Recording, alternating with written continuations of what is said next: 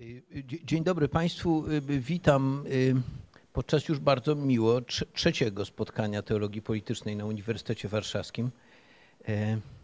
Od czasu rozpoczęcia naszego pro, pro, projektu Polityka, Religia, Bezpieczeństwo. Trzeci raz się tutaj spotykamy dzięki gościnności Wydziału Nauk Politycznych i Studiów Międzynarodowych, więc przesyłam w przestrzeń podziękowanie y, dziekanowi, panu profesorowi Stanisławowi Sulowskiemu za udostępnienie tego pomieszczenia. No i oczywiście blok presowi.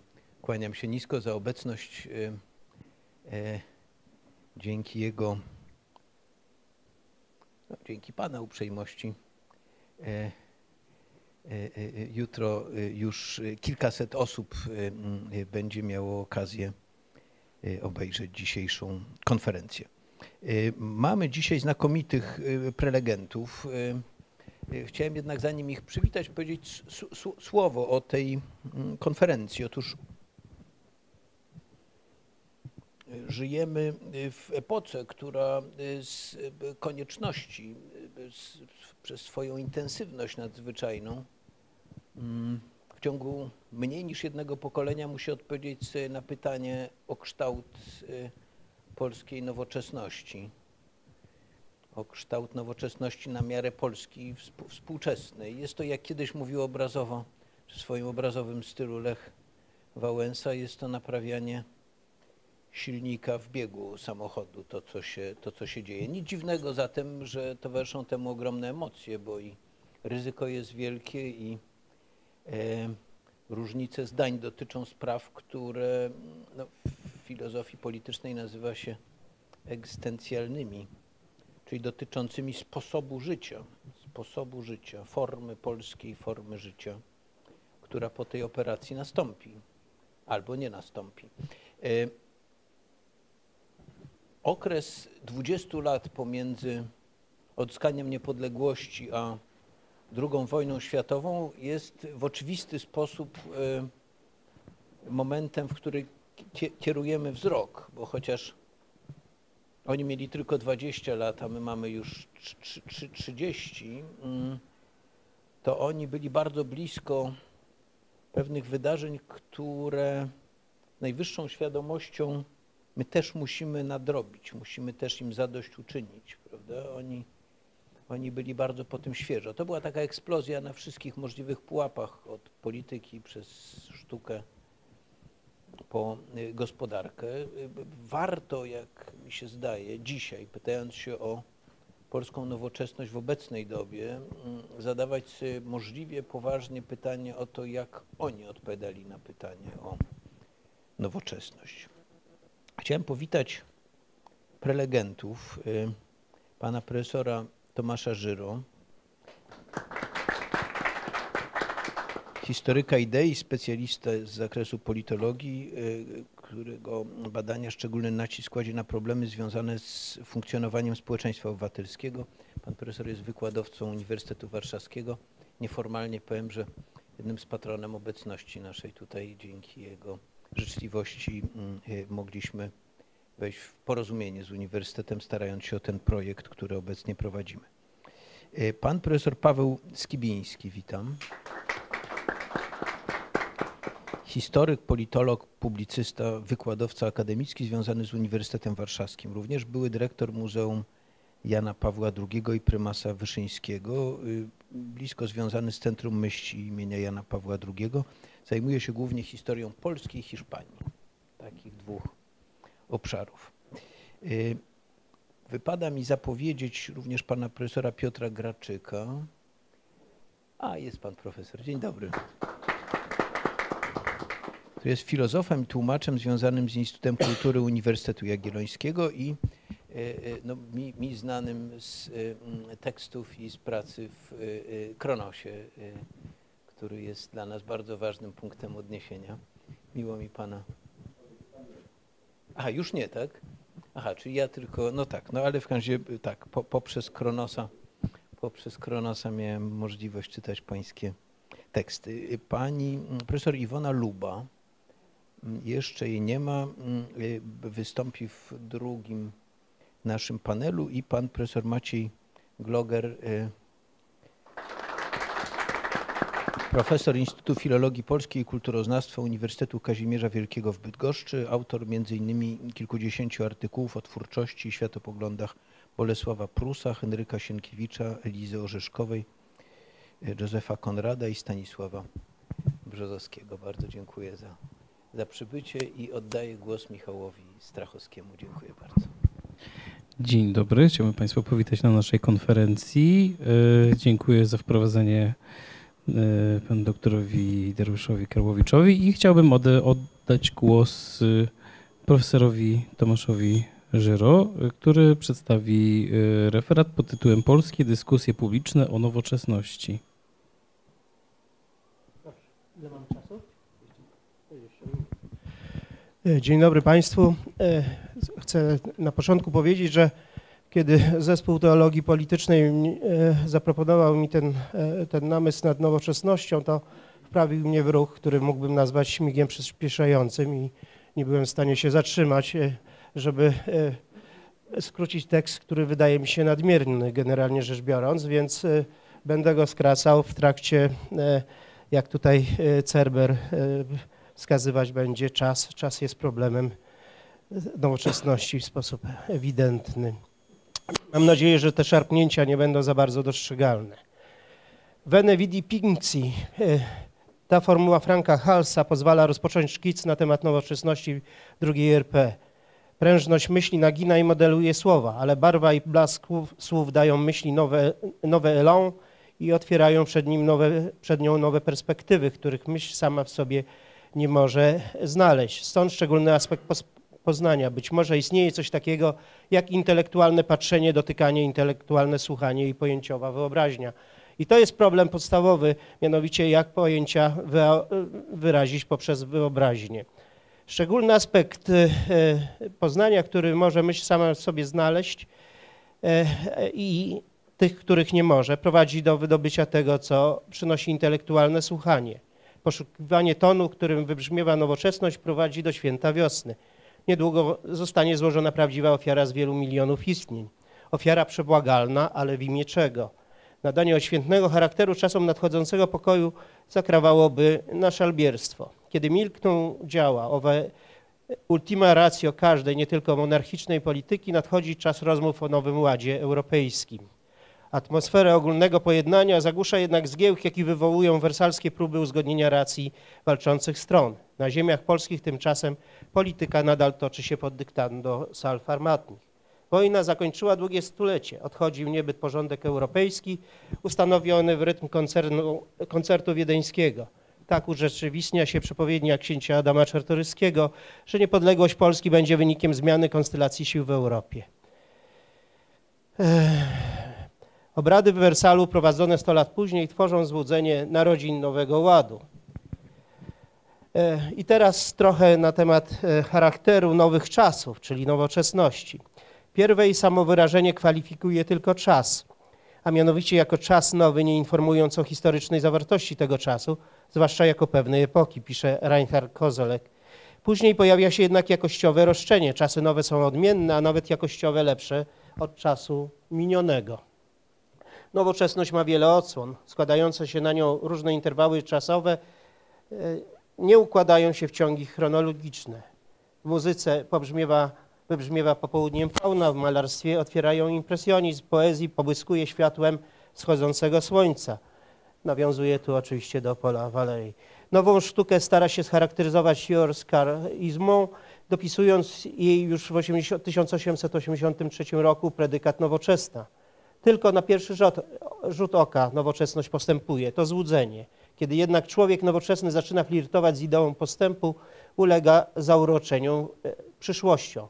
Przejęty tym, co się wydarza lub może się wydarzyć w nowych czasach, skłonny jest zapomnieć przeszłość. Sztuka nowoczesna ma być z istoty swojej postępowa. Kultura wyzwala człowieka z oków zaszłości. Dokonuje się również zwrot lingwistyczny. To nie z myśli, mój drogi, robi się wiersze, robi się je ze słów. Wydarzenia współczesne z racji swojej nowości mają objaśniać bieg spraw i nadawać im znaczenia. Niektórzy historycy zabierają się za, za napisanie historii teraźniejszości. Również politycy z upodobaniem włączają się w nowe czasy, mamiąc wyborców obietnicą nowego początku. Niektóre programy w dwudziestoleciu międzywojennym tak były wprost y, zatytułowane. Nowoczesność jest projektem, który nie może mieć końca, bo nie ma zakończenia. Wywołuje impet, który rodzi niekończący się ruch w stronę przyszłości. Projekt to rzucanie w przód, projacere. Remi Brach przypomina łacińską proweniencję tego słowa z przemietnika projektus. E, ten czasownik oznacza ruch, dzięki któremu ciało poruszające pocisk traci kontakt z miotającym się i przenaprzód. Człowiek to przecież istota rzucona do przodu albo wręcz wrzucona w świat. Rzecz znamienna, że dzisiaj w epoce późnej nowoczesności niemal każda forma działalności ludzkiej nazywana jest projektem. Nie tylko inżynierowie szkicują projekty, projekty realizuje artysta, a nawet uczony. Człowiek na co dzień projektuje sobie życie, ustala czas potrzebny na zdobycie mieszkania, samochodu, domu, ewentualne narodziny dziecka. Zaczyna planować, bo czasem można gospodarować. Twory polityczne są także wynikiem zaprojektowanego planu. Unia Europejska jest projektem. Brak uważa, że nowoczesność e, prowadzi nas e, do pewnego e, zagadnienia z, z, z zakresu fizyki, ponieważ główne idee nowoczesności wyprowadzone są z idei macierzystej rzucania i przeciwieństwa inercji. Doświadczenie zmiany udziela się coraz szerszym warstwom społecznym. Ruch jest wszystkim. Ruchy społeczne wyzwolone przez ideał emancypacji zaczynają kształtować rzeczywistość polityczną.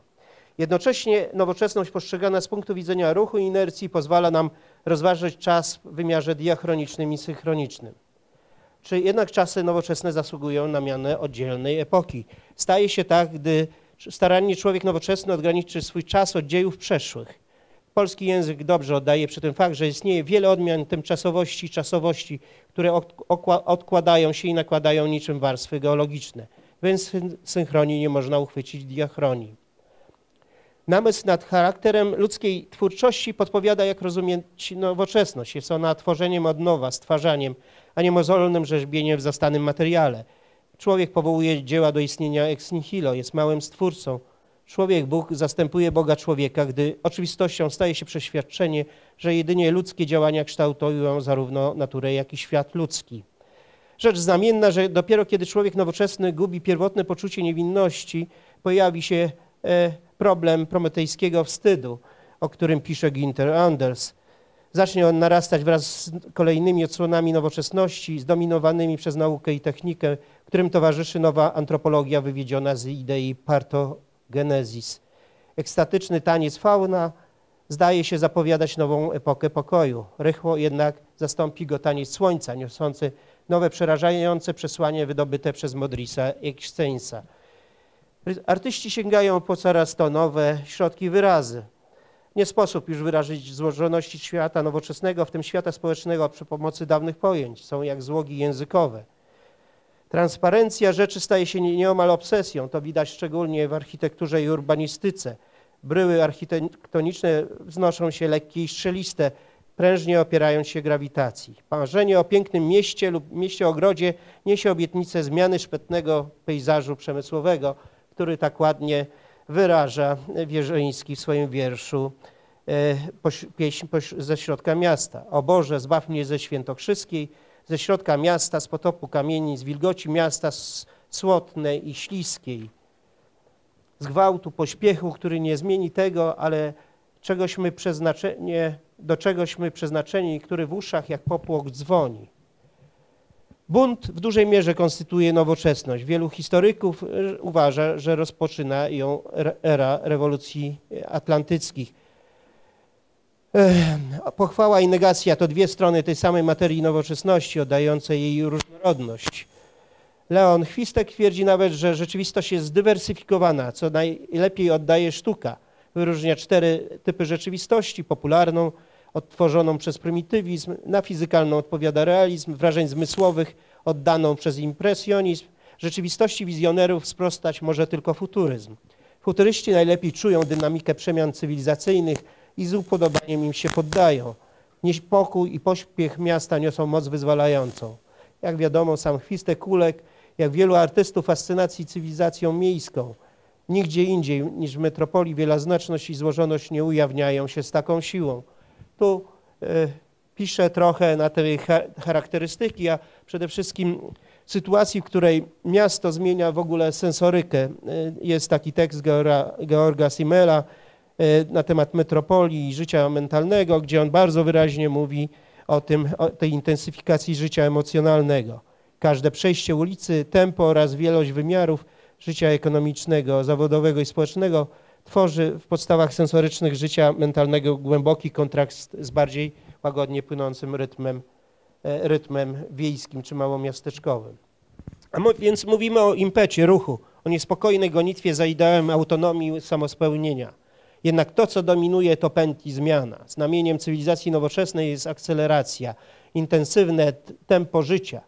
Będąc stwórcą praca, prawa akceleracji, człowiek nowoczesny końcu staje się jego wyznawcą. Może więc lepiej mówić o kondycji człowieka nowoczesnego. Ta teoria pchnięcia przeniknie nawet do nauk ekonomicznych. Jak pisze zresztą Pierre Manet w La Cité de l'Homme, dotychczas Europejczycy żyli zasadniczo do XVIII wieku pod rządami cnoty. Teraz żyją coraz częściej pod rządami handlu i wolności. Wcześniejsze pragnienie poszukiwania dobra w celu jego osiągnięcia zostaje zastąpione przez nagłą potrzebę ucieczki od zła, by być bezpiecznym i wolnym. Mamy do czynienia z czynem moralnym i duchowym, który posiada energię i prostotę fizycznego odruchu. E, No, człowiek nowoczesny boi się poddać bolesnej presji niewygody, zdecydowany na konsekwentne wykonanie wszystkich kroków służących uwolnienia go od- niewygody, człowiek widzi przede wszystkim e, narzędzia swojego projektu emancypacji lub stojące na jego drodze przeszkody. Nic substancjalnego, czy będzie to prawo, dobro, przyczyna lub cel, nie zasługuje na jego uwagę, ani nie wstrzymuje jego pochodu. Jest biegu i będzie bieg aż do końca świata. Jak się okazuje, przeszłość jest niewygodnym ciężarem spoczywającym na barkach człowieka nowoczesnego. To też jedną z immanentnych cech nowoczesności jest umiejętność zapominania. Zwłaszcza w liberałach znajduje najgorętszych, e, libera, e, najgorętszych e, obrońców. Ten problem pamięci i zapominania gdzie indziej już traktowałem, więc- go opuszczę. Otóż generalnie jest tak, że zapomnienie obejmowało również duszę. Sfera ducha była przecież uznana za kolejny ciężar w pędzie ku emancypacji człowieka. O tym pisze wielokrotnie Ignacy Witkiewicz, Stanisław Ignacy Witkiewicz, który alarmuje o zaniku zmysłu metafizycznego w człowieku nowoczesnym.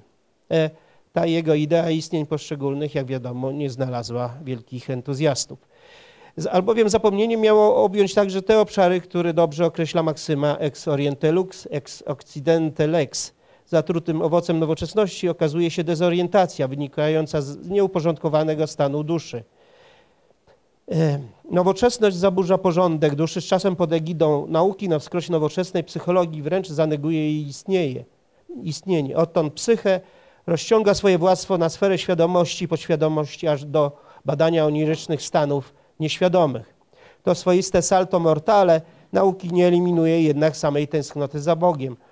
Do rangi wydarzenia symbolicznego ura- urasta konwersja e, wspomnianego Wismonsa. E, Wszystko, co wydarzyło się do tej pory, w tym tradycję człowiek nowoczesny uznaje za przeszkodę w, osiągnięciu samorealizacji. Uwolniony od balastu przeszłości, przekonany o swoich bezkresnych możliwościach, może uwierzyć obietnicy, jaką niosą e, now, czasy nowe. Ma do dyspozycji dwie potężne siły, naukę i, i technikę. A więc akceleracja i pełen niepokoju pośpiech towarzyszą temu mieszkańcowi nowej cywilizacji. Wyraża się to w tym chociażby możemy badać, jak e, sfera Erosa zaczyna przyćmiewać antropologii śmierci, generalnie rzecz biorąc. Na stany lękowe psychiki e, człowiek nowoczesny wymyślił terapię. Niektórzy mówią, że wiek terapeutyczny jest synonimem nowoczesności. Duch naszych czasów materializuje się w wytworach ze szkła. Jego substratem społecznym mieszczanin, naturalnym środowiskiem miasto, jego formą ustrojową demokracja parlamentarna, jego znakiem charakterystycznym pęd. Kiedy w masie y, pojawia się opór, przybiera postać y, ruchu społecznego. Y, Zresztą literatura czy muzyka mają do dyspozycji więcej środków wyrazu w nowoczesności, aniżeli obraz czy tekst naukowy, ponieważ wyrazić pęd i przyspieszenie, pośpiech i powszechny niemo- niepokój jest o wiele łatwiej przy pomocy, e, przy pomocy e, e, chociażby muzyki. Bolesław Miciński znowu notuje w notatniku, że jeśli chcemy uchwycić te, te, te fenomeny nowoczesności, jedynym sposobem dla pisarza jest esej, bo on daje, daje nam tutaj, podpowiada pewne tonacje, tak jak czasy mroczne e, drugiej połowy XIX wieku na pewno wyraża jeden z obrazków z wystawy Musorskiego pod tytułem Bydło, który wcale nie, nie, nie odnosi się do obrazu pastuszka z bydłem, tylko do polskich y, więźniów wiezionych na Syberię. Tak y, po 18 wyro, w- roku wydaje się, że można niepodległość wyrazić w tonacji dur, y, y, durowej, dopiero potem to się zmienia. E, Z kolei Tytuł Strzyżewski e, wyraża, e, wyraża e, jakby aspekt nowoczesności w sposób bardzo znamienny. Próbuje zjednoczyć pierwiastek polskości z nowoczesnym sposobem obrazowania. Stąd też seria wizerunków Madonny z dziesiątkiem. I teraz jak można sprostać wyzwaniu, jakie narracja niesie dla oddania ruchu wydanego, wyrażonego przez dzieje? Jak wiadomo, to jest ten problem zatrzymania, zamrożenia ruchu dziejowego, w, nie tylko w obrazie, ale tekście. Bardzo to jest poważny problem. E, Kozelek e, na, analizuje na przykładzie e, ten problem na przykładzie obrazu Aldorfera, Bitwa pod Ipsios. Ja tu zaproponowałem formułę polską, mianowicie analizę tegoż ruchu, ruchu zamrożonego, tego Stilllegung, jak mawiał Heidegger w obrazie Ludomira Slędzińskiego Piłsudski pod Wilnem. Bardzo znaczący, emblematyczny obraz, który przedstawia w jednym, jednym, że tak powiem, pociągnięciem pędzla przeszłość, teraźniejszość i przyszłość. Robię tutaj taką analizę tego, co e, za pomocą e, środków wprost nadrealistycznych, ale też e, odwołując się do włoskich technik pejzażu, maluje Slędziński, wyrażając e, bieg historii, prawda? Bo obraz dotyczy przecież oblężenia, oblężenia e, Wilna i odbicia Wilna. Ten obraz namalowany, rzecz charakterystyczna, w 1927, bardzo ciekawe e, niesie treści, o których e, nie mam tutaj czasu powiedzieć. W każdym razie na pewno e, e, przedstawia opatrznościowy moment dla całej polityki wschodniej, e, powrotu ziem Wielkiego Księstwa Lubelskiego. E, Obraz ten zatrzymuje doniosły moment, ale mamy w pamięci e, słowa wielokrotnie powtarzane przez Piłsudskiego, że to e, co rdzennie e, i jakościowo polskie pochodzi e, z, z Kresów, a po środku, po środku Polski są tylko piaski i piaski. I tylko piaski. I to, to przypomnienie przeszłości, ale też ekspo, ekspozycja wydarzenia jest bardzo znamienna. Otóż e, bardzo wyraźnie widać, że, że ten, ten wzór polskiej nowoczesności jest odmienny, o czym będę jeszcze mówił. Na pewno jest tak, że cywilizacja no, e, e, nowoczesna ma być lekka i nośna. Tworzy nowy pejzaż społeczny, którego główną materią, materię stanowi szkło. Szkło jest synonimem, a zarazem symbolem nowoczesności. Jest wręcz jego metafo- jej metaforą. E, Tu przytoczyłem pewien dialog, który Państwo na pewno dobrze rozumieją na ziemi rosyjskiej przeoranej rewolucją bolszewicką, e, gdzie e, dwaj ludzie dwóch pokoleń z rodu Baryków opowiadają sobie, a zwłaszcza senior opowiada, że będzie to nowa cywilizacja oparta na, e, oparta na szkle, bo szkło jest dla niego synonimem e, nowej cywilizacji. Tak, od tego się cywilizacja zaczęła. Od jednej szklanej huty, tak. Jakaś, mam wrażenie, krucha i łatwo tłukąca się cywilizacja. Przeciwnie, najmocniejsza na tym padole żelaza i betonu. No i teraz może e, do rzeczy e, drugiej, mianowicie e, e, to jest tak, że e, motywem czy leitmotywem mojego eseju jest problem wystawy, wystawiania czegoś na pokaz, chwalenia się czymś, co co jest dane, dane w, w materii, ale też z zakresu, powiedziałbym, działania ducha. E, Alfred Coutard, który jest twórcą i organizatorem wielkiej wystawy w Paryżu w 1900 roku, mówi, że ma oddać nie tylko wielkość Francji, ale też jej ducha. I tak jest w gruncie rzeczy z innymi wystawami z których najważniejsza, jeśli chodzi o wydarzenia europejskie, jest ta w Londynie 1900, 1851, ponieważ e, e, e, to jest, jak mówi Peter Sloterdijk, pełna samozadowolenia, samoprezentacja zdobyczy nowoczesności. Nowoczesność oznacza realizację projektu globalnego, dzięki któremu Zachód ustanawia powszechnie obowiązujące wzory życia. Sloterdijk wręcz twierdzi, że forma architektoniczna kryształowego pałacu metaforycznie wyraża zachodnią globalizację. Od tej pory cywilizacja zachodnia często wyobraża siebie jako kryształowy pałac, jako bańkę, która stanowi dla niej schronienie przed historią i zabezpiecza ją przed agresją z zewnątrz. E, odpowiedzią na to jest e, w gruncie rzeczy e, wizja Żeromskiego. Ona ma zupełnie inny charakter i o tym troszeczkę piszę, mianowicie ta, ta wystawa, ta wystawa nie tylko, ta wizja nie tylko próbuje odpowiedzieć na, to jest pytanie i odpowiedź na, na pytanie, kim jesteśmy, ale również ma charakter zupełnie odmienny, ponieważ bardzo wyraźnie widać, iż ta wielki kryształowy pałac jest E, jest e, e, czymś zagrażającym, zagrażającym. Natomiast Żeremskiego opis szklanych domów posłużył do opisania nowego pejzażu społecznego w niepodległej ojczyźnie. I kryształowy pałac dla ludzi pokroju Dostojewskiego, czy potem Michała, Mikołaja Czernyszewskiego jest zagrożeniem, zapowiada nowego człowieka – Zachód zmierza ku olbrzymiemu klimatyzowanemu wnętrzu ochronnej kabinie, wielkiemu inkubatorowi, w którym trzeba wyzbyć się swojej własnej tożsamości.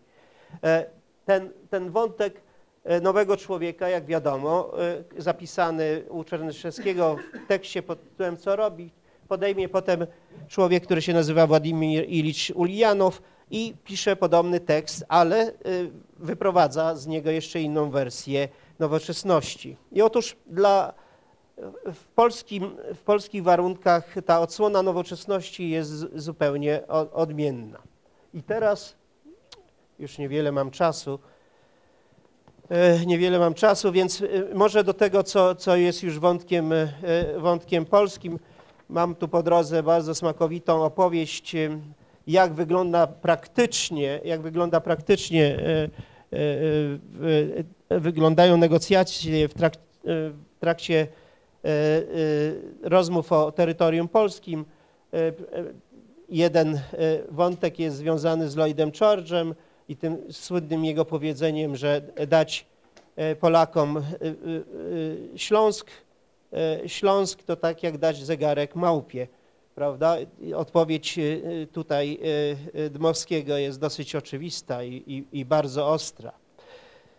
E, otóż ta, ta, wersja nowoczesności Polski jest zupełnie inna. E, to znaczy, e, na pewno jest tak, że ona wiąże się z faktem niepodległości, a więc daje coś, co, co obiecuje nowoczesność. To jest to, że, że możemy być wreszcie sprawczy w różnych dziedzinach, zarówno w sferze materii, w sferze ducha, w sferze polityki. I ta sprawczość sprawia, można powiedzieć, że E, cienie e, e, wszelkie wątpliwości na początku przynajmniej, przynajmniej do 1900, powiedzmy 24, 5 te wątpliwości nie są za bardzo wyrażane. Natomiast potem się zaczyna rzecz dziać bardzo skomplikowana, mianowicie wyraźnie widać, wyraźnie widać taką sytuację, w której, w której E, rzeczywiście sprawczość e, realizuje się, bo stajemy, e, stają nasi przodkowie wobec materii zdegradowanej i tę materię zdegradowaną trzeba będzie na różne sposoby budować, opowiadam o tym, jak ta metafora e, szklanych domów e, urzeczywistnia się w kilku rzutach. Rzutach, które nie mają aspektu wcale tylko wsobności polskiej, ale charakter włączają się w euro- europejską nowoczesność. Przykładem jest Dom Brukalskich na Żoliborzu, również przykładem zbiorowym jest Towarzystwo e, Osiedli Robotniczych czy e, Warszawska Spółdzielnia Mieszkaniowa. Jest jeszcze trzeci rzut, odpowiedź w postaci wielkiej wystawy powszechnej w Poznaniu, która ma zupełnie inny charakter niż te wystawy europejskie. One głoszą pochwałę nowoczesności, obrócone są w przyszłość. Polskie wystawy zaczynają od re- retrospekcji, zawsze przypominają przyszłość, czyli ta polska wersja, polska wersja nowoczesności e, oddycha bez przerwy e, e, przeszłością narodową. E, Mówi się wręcz o nowoczesnym stylu, e, o nowoczesnym stylu narodowym, o modernizmie narodowym, czy nawet nacjonalistycznym. E, Odwołuje się tu do rozważań Karola Szymanowskiego na temat polskiej muzyki, muzyki jak ona ma czerpać z tradycji. E, Na wystawach, na tej ekspozycjach polskie Art Deco jest, są, e, jest przykładem tego, jak można oddychać przeszłością, tworzyć formy nowoczesne. Więc te rzuty, te rzuty, te ekspozycje, to pochwalenie się, to wykazywanie jest, można powiedzieć, pewnego rodzaju teatrem magicznym, w którym można się przejrzeć i można zapytać się o tożsamość. E, Wystawę warszawską odwiedza, e, Warszawa przyszłości odwiedza kilkaset tysięcy ludzi, Warszawę ogólną, e, wystawę ogólną w Poznaniu prawie 5 milionów ludzi, więc to jest pytanie o zbiorową tożsamość. I teraz na koniec troszeczkę na temat tej niewdzięcznej pani, jaką jest polityka. Mianowicie od razu można powiedzieć e, tak, e, e, śledząc te, te losy materii, stosunku do materii, mogę się zgodzić z profesorem Jedlickim świętej pamięci, który mówił, że jeśli chodzi o materię, to my jesteśmy daleko w tyłu, ale jeśli chodzi o, o pracę umysłu, to jak najbardziej na czasie.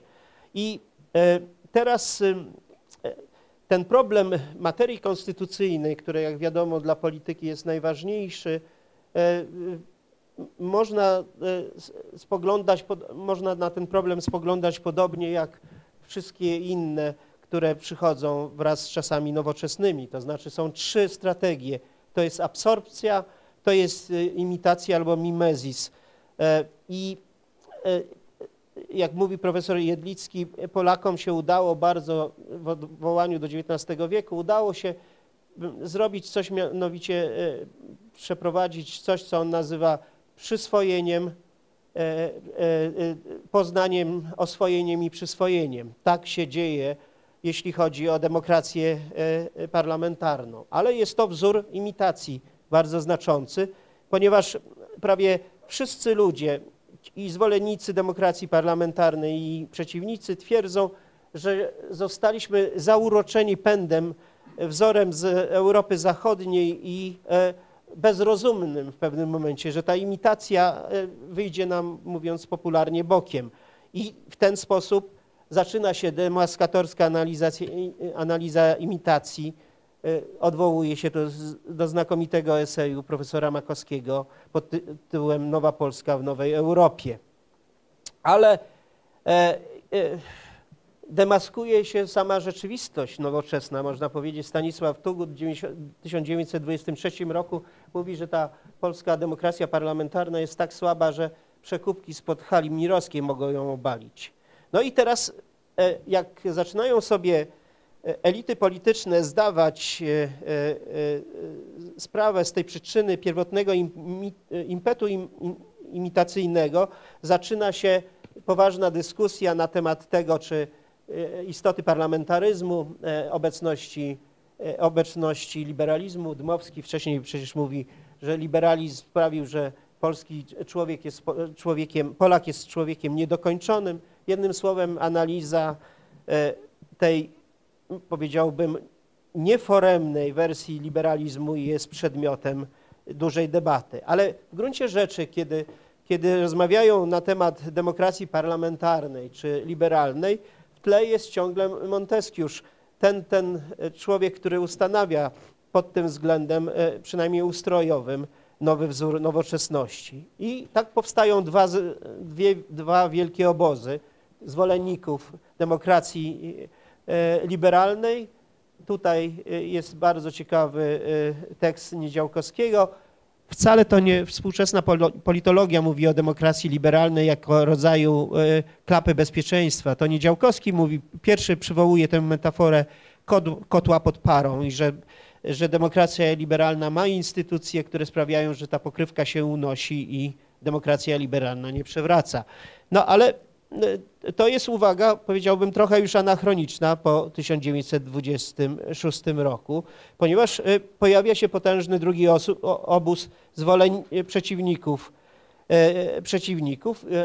Wywiedziony zresztą rzecz ciekawa z pewnej sytuacji epistemicznej, bo obie strony są, są, deklarują się jako realiści. Daszyński mówi, że trzeba mieć zmysł rzeczywistości. Bez przerwy się pojawia ten problem, jak odpowiedzieć na rzeczywistość. Tylko jedni mówią, że więcej demokracji parlamentarnej, a drudzy mówią, że trzeba szukać nowej drogi. Tym bardziej, że są dwa wielkie zagrożenia.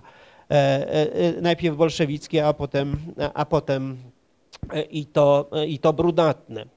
Więc drugi obóz jest bardzo ciekawy w tym poszukiwaniu, poszukiwaniu rozwiązań. No ale to, co jest najważniejsze w tym wszystkim, to to, że spór staje się tak zaciekły, że, bo on dotyczy sposobu odczytania rzeczywistości e, i właściwie obie strony wołają, pytają o nakaz życia, o duch czasu, o, e, e, o doświadczenie zmiany tempa cywilizacji nowoczesnej.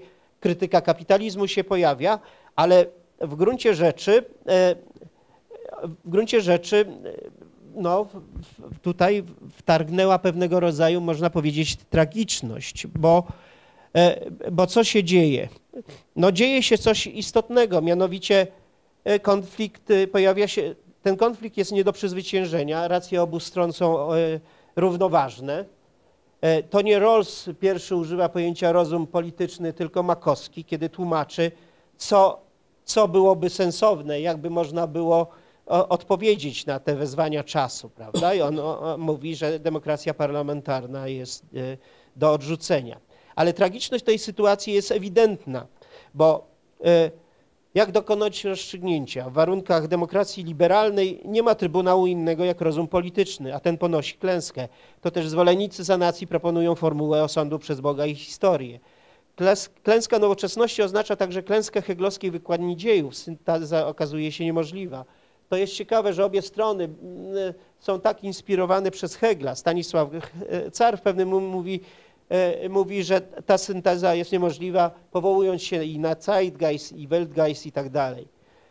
E, Można powiedzieć oczywiście, że jest nierozstrzygalny, ale rozstrzygnie go jeszcze większa tragedia, e, no bo e, wspólne groby, e, e, ta tragiczność przyjdzie e, zupełnie z zewnątrz i da nowe rozwiązania. Czyli jednym słowem, e, co jest istotne, nie tylko rozum polityczny okazuje się bezsilny wobec naporu zda, zdarzeń, okazuje się, że ten konflikt jest e, tragiczny dlatego, że jest nierozstrzygalny. Demokracja parlamentarna, która proponuje politykę konsensualną, jest całkowicie tutaj nie do zastosowania. E, Mechanizmy, e, antynomia ujawnia się oczywista, mechanizmy demokracji liberalne zawodzą. Ta klęska polityki konsensualnej jest także porażką deliberacji. No i, e, i już na zakończenie e, dosłownie. Spory polityczne tego czasu uwidaczniają, że rozum okazuje się bezsilny wobec naporu zdarzeń, a przecież to on stanowił ostatni trybunał nowoczesności. W dłuższej perspektywie będzie widać także klęskę woli politycznej. Tu chodzi o różnego typu dyktatury, Mussolini, jego także e, e, e, dyktatury południowo, e, południo, południowej Europy. Jak wiadomo, one się także załamią. Ostatecznie mamy w Polsce nową odsłonę tragiczności, gdzie racje obu wersji i nowoczesności, tej zmoderowanej i tej radykalnej są no. Pozornie rozwiąże je tragedia narodowa września 1939. Nemezis nadciąga nieubłaganie, a zaprzęga do swojego rydwamu zarówno rozum, jak i wolę polityczną. Tylko niektórzy są świadomi nadciągającej katastrofy to w wielu sferach, to Piłsudski, to Rataj, to Zdziechowski, to Czechowicz, to Witkacy i tak dalej.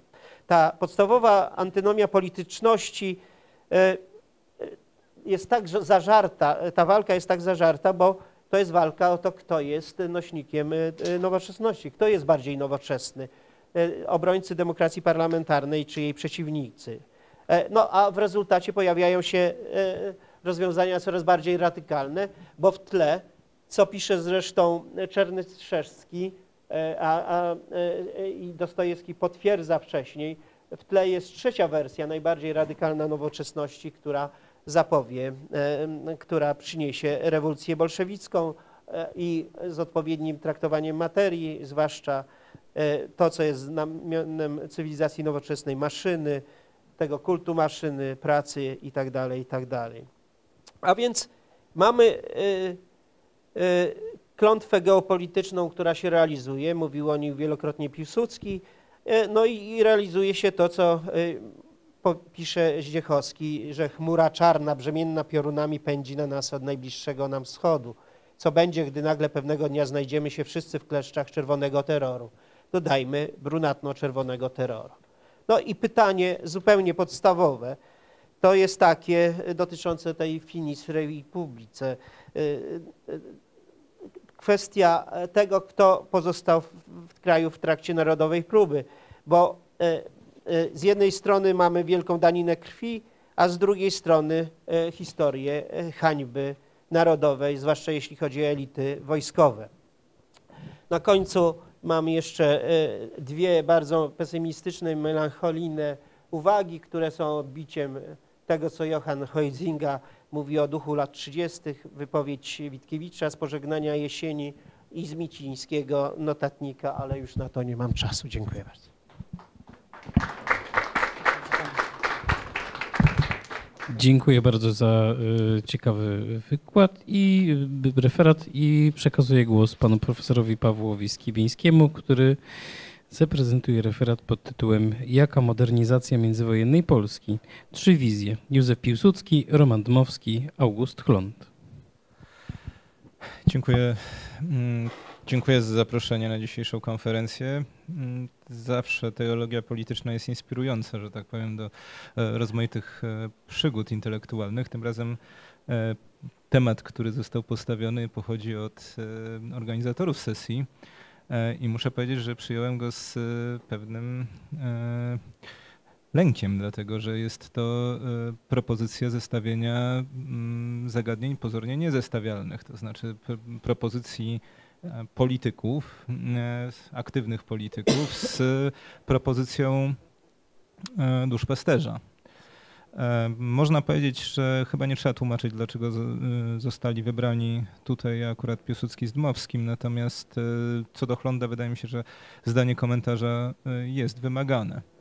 E, otóż proszę pamiętać, że mamy do czynienia z pierwszym hierarchą w XX wieku, którego, który po pierwsze miał pewien projekt oddziaływania, całościowy projekt oddziaływania E, Kościoła i religii na kulturę narodową, ale także był pierwszym chyba globalnym hierarchą polskim, to znaczy proszę pamiętać, że Chląd był papa Bile w 1939 roku i to jest e, wydaje mi się pewien argument mówiący o tym, że mamy do czynienia z człowiekiem, którego wpływ był co najmniej porównywalny, jeśli chodzi o znaczenie globalne e, z obie, oboma naszymi wybitnymi liderami politycznymi którzy także e, byli recypowani również poza naszym krajem, dlatego że Piłsudski i Dmowski są, byli osobami, w te, przynajmniej w tamtej generacji, e, rozpoznawanymi.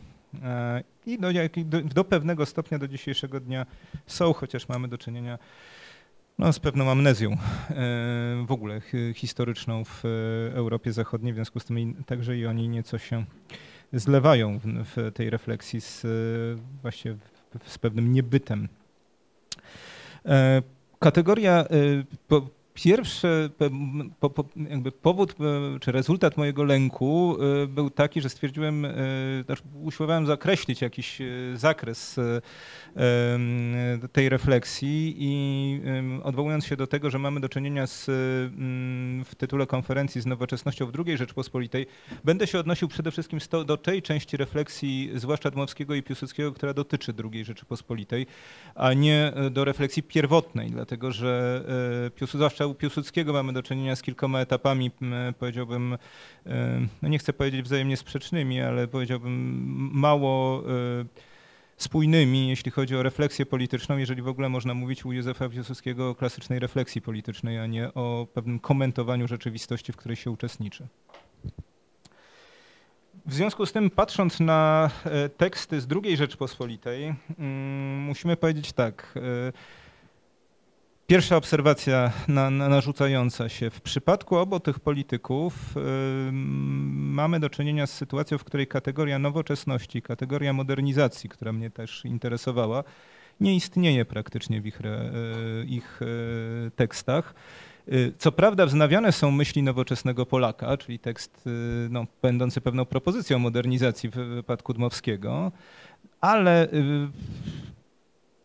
chciałoby się powiedzieć, że jest, Dmowski sam dystansuje się od własnego projektu sprzed, z początku wieku.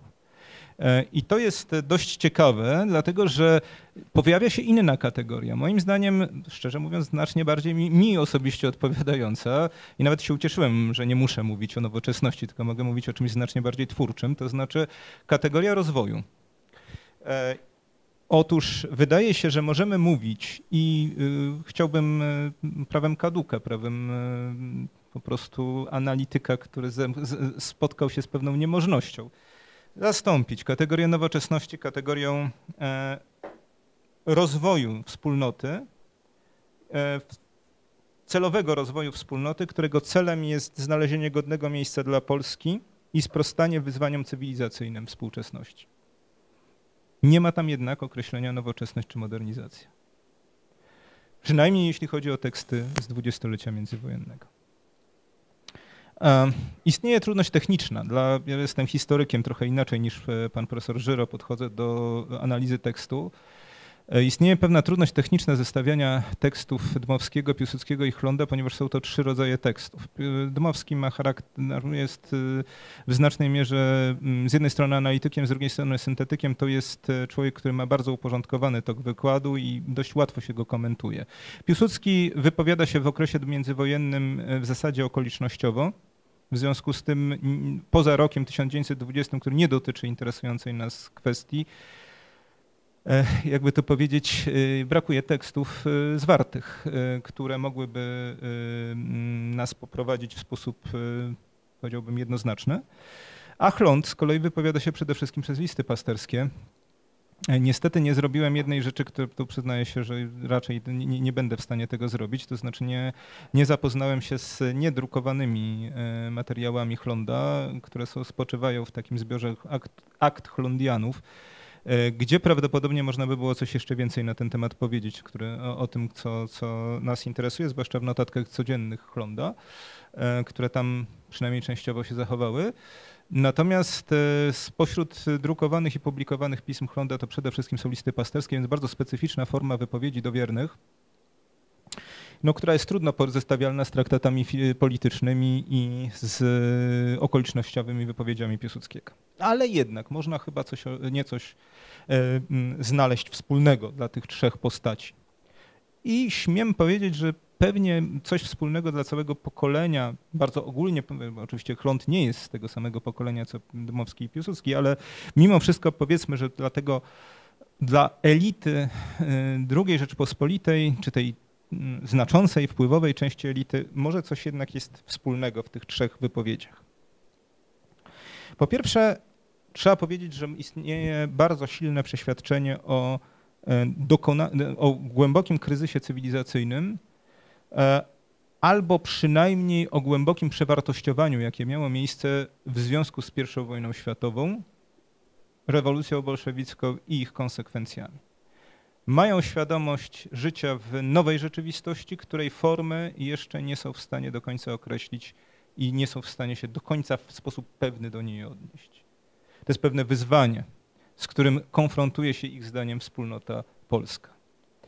Drugie zagadnienie, które jest wspólne u tych trzech e, postaci, to jest stwierdzenie, myślę, że wszyscy się zgadzają co do tego, że istnieje pewne upośledzenie Polski wynikające z dwóch zagadnień, to znaczy z, po pierwsze z rozbiorów, czyli braku podmiotowości politycznej przez ostatnie tam ponad 100 lat, ale także w wyniku zniszczeń wojennych.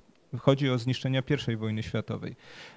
Myślę, że w formie pisanej ja postaram się to udokumentować, jak bardzo oni podkreślali wyczerpanie wojenne e, II Rzeczypospolitej a to jest rzecz, która w świadomości współczesnego Polaka w ogóle zanikła. Tak? To znaczy, biorąc pod uwagę to, że doznaliśmy zniszczeń II wojny światowej i w jakimś sensie przykryło to to doświadczenie e, zniszczeń po I wojnie światowej. Kolejna rzecz to jest kwestia wspólna, to jest kwestia mm, przekonania o tym, że rozwój Polski ma się dokonać przede wszystkim na płaszczyźnie moralnej i duchowej.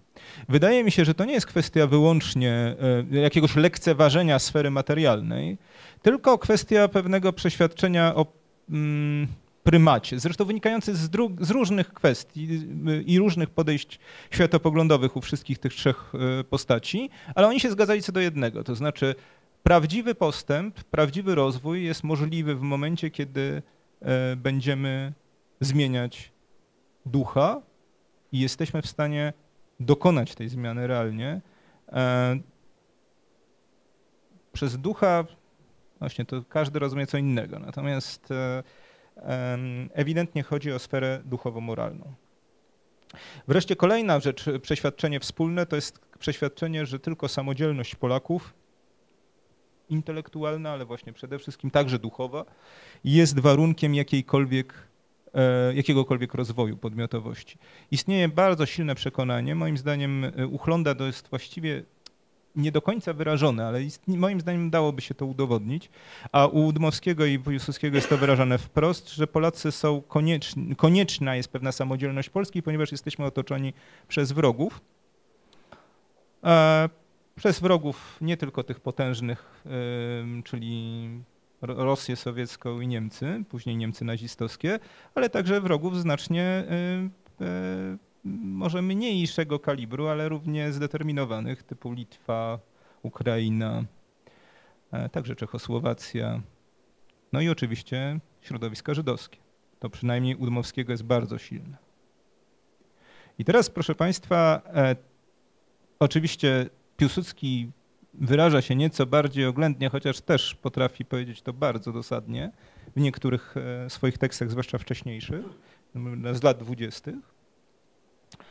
I proszę Państwa, e, to przeświadczenie o samotności e, nie jest powodem u nich, nie prowadzi ich do tragizmu, jakiegoś bezwładności jakby woli, tylko raczej mobilizuje. Tak? To znaczy my musimy się wybić się na podmiotowość po to, żeby sprostać wyzwaniom współczesności, ponieważ nikt nas nie poprze. I to nie jest jeszcze, że dodajmy, nie jest to związane z odrzuceniem konieczności sojuszy. Bo oczywiście i u Odmowskiego i Piłsudskiego są bardzo poważne rozważania, w jaki sposób zbudować pewne sojusze polityczne, ale mm, to nie jest bezpośrednio temat mojego wystąpienia. E, kolejną rzeczą, która jest wspólna raczej dla Piłsudskiego i Dmowskiego, Uchląda występuje, e, powiedziałbym raczej jako dopowiedzenie, to jest stwierdzenie, że związane z tym ostatnim zagadnieniem, z pewnego osamotnienia Polski, to jest e, e, stwierdzenie, że e, Polska albo będzie wielka, albo nie będzie jej wcale. To jest cytat wykorzystywany przez Andrzeja Nowaka i moim zdaniem fundamentalne wyrażenie, które ustawia w znacznej mierze problem postrzegania wyzwań stojących przez Polską międzywojenną przez obu głównych polityków tego okresu. Chląd komentuje ten, to zagadnienie w ten sposób, że siła Polski jest przede wszystkim, ponieważ jest siłą duchową, no to w związku z tym Polska jest w stanie być odpowiednio samodzielna i odpowiednio silna, ponieważ w dziedzinie ducha reprezentuje bardzo poważny potencjał. I wreszcie, proszę Państwa, ostatnia rzecz wspólna, która jest raczej brakiem niż obecnością pewnego elementu. Proszę Państwa, jak słusznie y, zwraca uwagę już profesor Żyro, jest pewna wersja, ja bym powiedział, że dominująca wersja moderni projektu modernizacyjnego okresu międzywojennego, to jest, to jest wersja totalitarna. I ta wersja oczywiście, znaczy ta wersja występuje w dwóch e, typach, tak? to znaczy w typie bolszewickim i w typie nazistowskim. Nieco mniej wydaje mi się to oczywiste, jeśli chodzi o wzory musoliniańskie, które nie są, znaczy powiedziałbym, że są dużo bardziej rozmyte, o tak powiedzmy, w swoich e, treściach. Więc skupmy się na tych dwóch, które są oczywiste, to znaczy bolszewizmie i nazizmie. Otóż u żadnego z tych e, naszych wielkich Polaków nie znajdujemy akceptacji do którejkolwiek z tych e, wersji modernizacji, choćby warunkowej, choćby wczesnej. I to jest bardzo charakterystyczne. Dlatego, że proszę Państwa, e, jeżeli mielibyśmy wymieniać e, listy tych, którzy się zauroczyli bądź jedną, bądź drugą formą modernizacji, to powiedziałbym, że one są nadzwyczaj długie. Tu mamy i myślę, że spokojnie moglibyśmy z kolei polską listę tych, którzy się nie dali zauroczyć, zdecydowanie wydłużać. I wśród osób, których wspominał pan profesor Żyro, też jest co najmniej kilkanaście, które spokojnie znajdziemy właśnie takie dwustronną krytykę na obu wersji modernizacji nazistowsko-bolszewickiej. Przejdźmy do zagadnienia odrębności. Proszę Państwa, co jest charakterystyczne dla Piłsudskiego? Otóż, proszę Państwa, e, zmiana i sprostanie wyzwaniom dokonywana jest zdaniem Piłsudskiego przede wszystkim przez akt woli.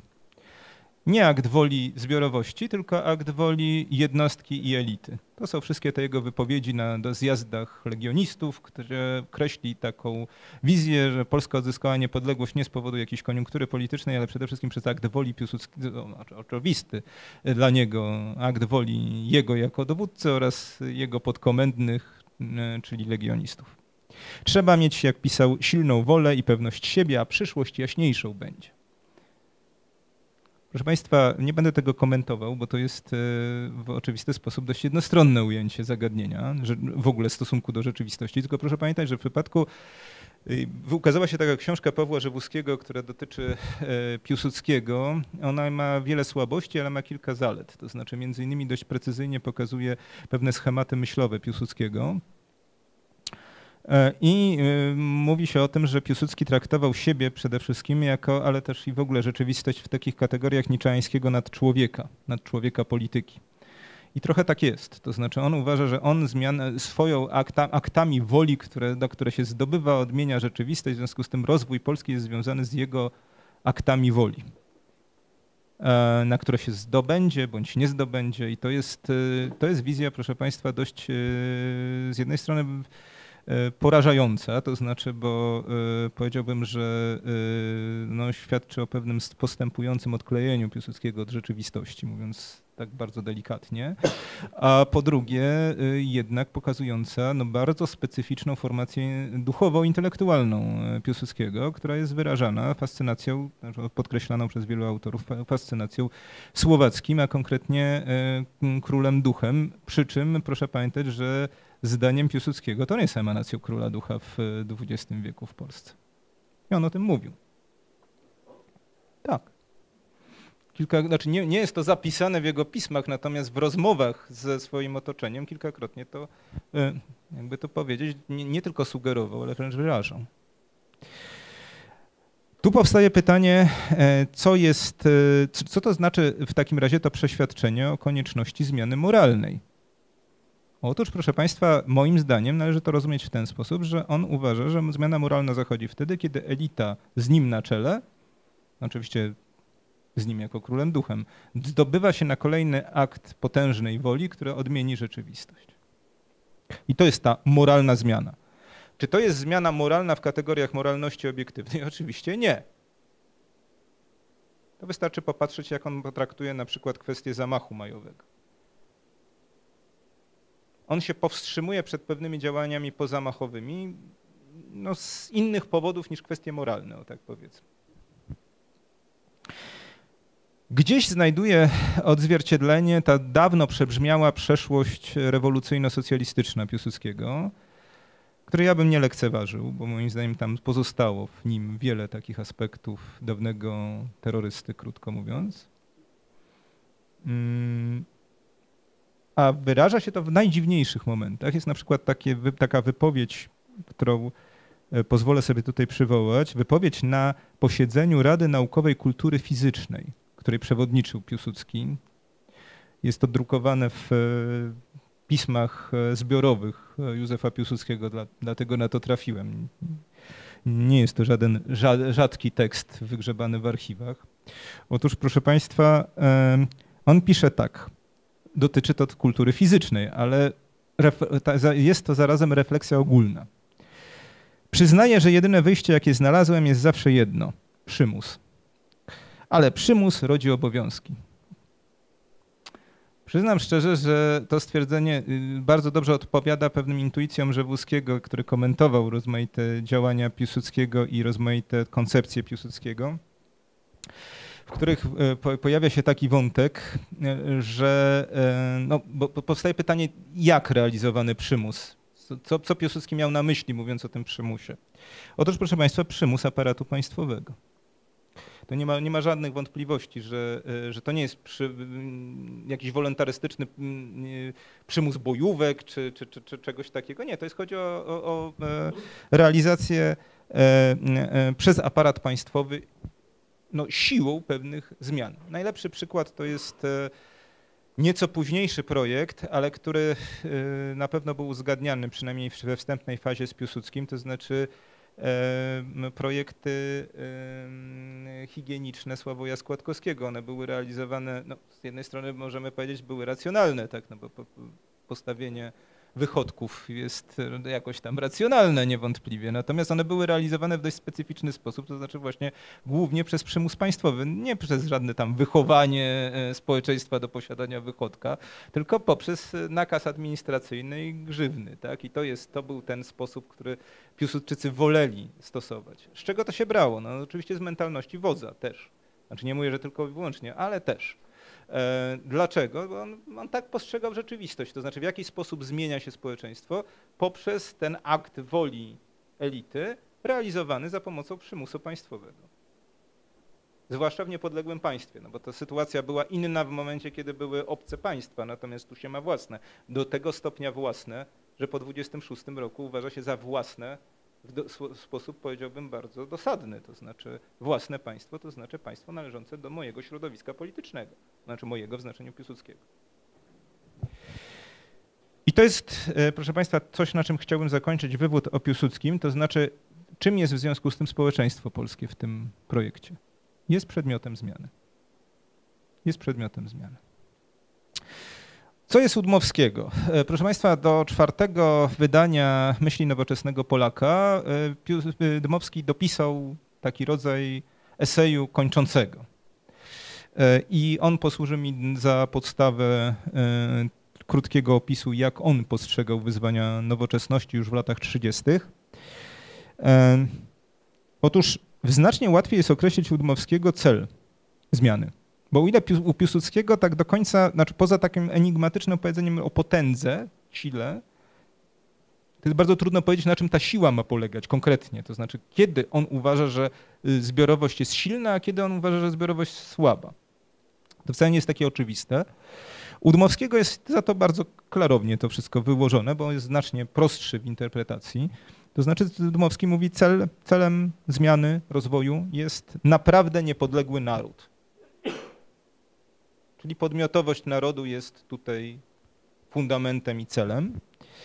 E, jak ona, jak ona ma być oksiągana, zdaniem Dmowskiego? Poprzez harmonizację e, z jednej strony czegoś, co on nazywa czynem, czyli znowu akt woli, gra tu rolę, ale nie, bynajmniej nie wyłącznie, dlatego że jeszcze po, e, czynem weryfikowanym przez czynnik, który Dmowski nazywa mądrością praktyczną.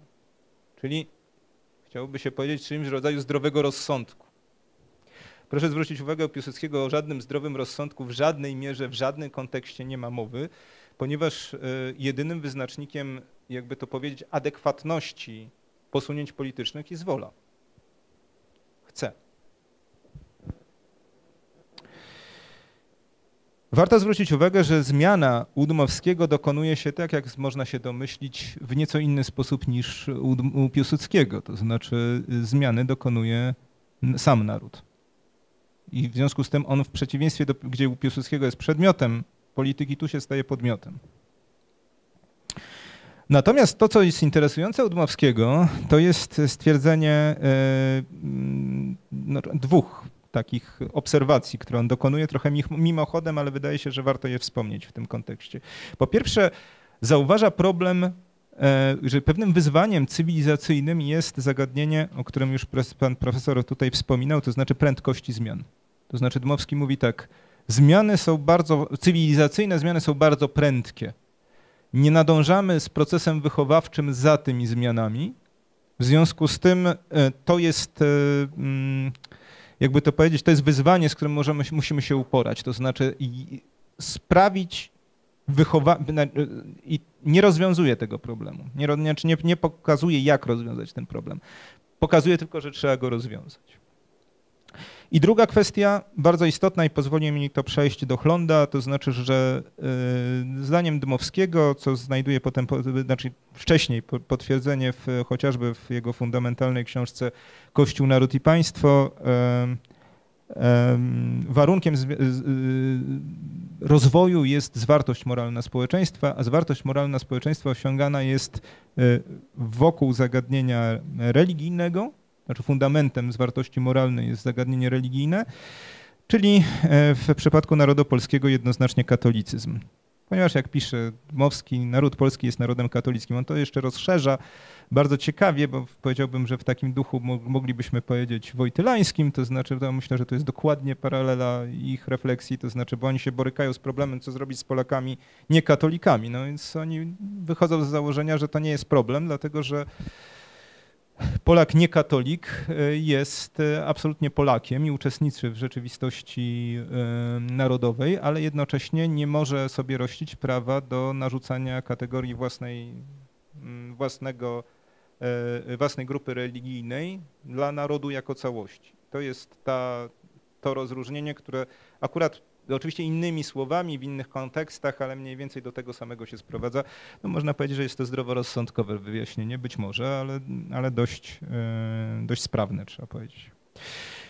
No i tu przechodzimy do Chlonda, który jest oczywiście podziela to zdanie Dmowskiego, że naród polski jest narodem katolickim, niewątpliwie. To jest o tyle zabawne, że sam Chląd jest przecież e, Ślązakiem, znaczy inaczej, Polakiem ze Śląska, tak to trzeba nazwać. Mm, co prawda w PRL-u było oskarżane o filogermanizm, ale szczerze powiedziawszy ja nie bardzo widzę jakiegokolwiek tekstu y, Chlonda, który byłby filogermański. Co więcej, znamy, natomiast mamy mnóstwo czynów Chlonda, które są, powiedziałbym, bardzo boleśnie pamiętane przez y, mm, Kościół w Niemczech i Niemców w ogóle. Tak? Proszę pamiętać, że to jest główne lobby, które działa przeciwko procesowi realizacji procesu beatyfikacyjnego Augusta Chlonda. I skutecznie, trzeba powiedzieć. E, otóż celem dla e, Chlonda jest oczywiście Polska i tutaj już ta moralno, zmiana moralna i, i, moralność jako fundament nabiera cech konkretnych u Chlonda, to znaczy czym jest, jaki jest warunek moralności? Oczywiście katolicyzm, tak? to znaczy dostosowanie moralności wspólnoty i życia publicznego do kategorii e, religijnych katolicyzmu. Natomiast bardzo ciekawie Chląd pisze o tym, e, że wyzwania współczesności nakazują przemyśleć to, czym jest konkretnie ta religijność katolicka. I tu przeciwstawia się dwóm z pozoru e, wcale nieoczywistym tendencjom, znaczy, że on się będzie przeciwstawiał, nie jest to oczywiste.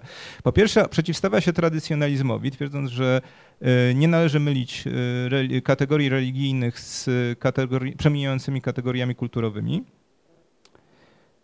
ani jeszcze jedną rzecz, e, od jednej rzeczy katolicyzm odróżnia, to znaczy twierdzi, że w związku z tym na przykład konkretnie katolicyzm nie jest e, mm, receptą dla rozwoju społeczności li tylko wiejskich i na przykład e, urbanizacja nie stanowi dla katolicyzmu najmniejszego problemu, ponieważ jak się wyraża Chląd, w, każde, każde, w, każdej, y, w każdych warunkach e, mm, społecznych y, kategorie katolickie pozostają aktualne i w związku z tym e, tam jest takie zdanie, że jak ktoś porzuca pług i chwyta się kilofa, to nie jest to e, to nie jest to powód, żeby odrzucać religię. Tak? To znaczy, no dość, z jednej strony dość oczywiste, ale wydaje się, że wcale nie, nie takie pozbawione oryginalności.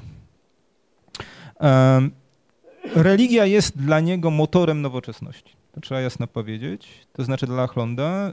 Y, dla niego y, on dokonuje takiego dość charakterystycznego, ale z drugiej strony spotykanego także u innych myślicieli rozróżnienia, to znaczy twierdzi, że to, co jest nieadekwatne do współczesności, to jest odrzucenie kategorii religijnych i wynika z y, no, minionej epoki kulturowej, to znaczy jakby wykształconej na podstawie oświeceniowej. Tak? To znaczy to jest, to jest dla niego, to, to jest ciekawe, bo zarówno u Dmowskiego, jak i u Chlonda istnieje ten sam moment myślowy, to znaczy, no, powiedziałbym, nie do końca wypowiedziana w, wyraźnie, ale, ale odczuwalna krytyka formacji oświeceniowej. E, u Chlonda pojawia się kategoria fałszywego postępu bardzo silnie zaznaczona i warto powiedzieć, co jest tym fałszywym podstępem dla Chlonda, bo to pokazuje jego sposób myślenia o rozwoju i, i zmianie jako czymś konstruktywnym. To znaczy, po pierwsze, fałszywy postęp jest, y, jest na przykład antyklerykalizm i ateizm, to już można się było tego domyślać, ale także bolszewizm, ale także rozwiązłość seksualna. To znaczy ca cała, ta, cały taki projekt freudowski, który zostaje w związku z tym zanegowany jako projekt nowoczesny. On twierdzi, że jest to projekt, który nie ma nic wspólnego z nowoczesnością, ma natomiast wiele wspólnego z, mm, powiedziałbym, destrukcją struktur społecznych. Tak? I to w związku z tym, jakby to powiedzieć, a priori nie może być nowoczesny, ponieważ nie, nie oznacza znaczy trudno powiedzieć nowoczesny, nie, nie jest prorozwojowy, tak powiedzmy, ponieważ oznacza destrukcję. Um, Warto zwrócić uwagę, że e, uchląda e, rozważania nad e, rozwojem i zmianą są do pewnego stopnia ograniczone, ponieważ w charakterystyczny dla duszpasterzy sposób neguje chęć wypowiadania się na, te, na, temat przebudowy społeczeństwa i walki o władzę jako pewnych kategorii no, niezbędnych w życiu politycznym, ale nie, on jakby w ogóle od tego abstrahuje. To znaczy on, on się od, od tych kategorii odżegnuje. Domaga się ofensywności ducha katolickiego jako czynnika prorozwojowego, domaga się e, mm, e, z jednej strony modernizacji zasad e, kulturowych w dziedzinie społecznej, ale także w dziedzinie stricte kulturowej, o tak powiedzmy, ale i przy jednoczesnym zachowaniu niezmienności zasad religijnych i moralnych.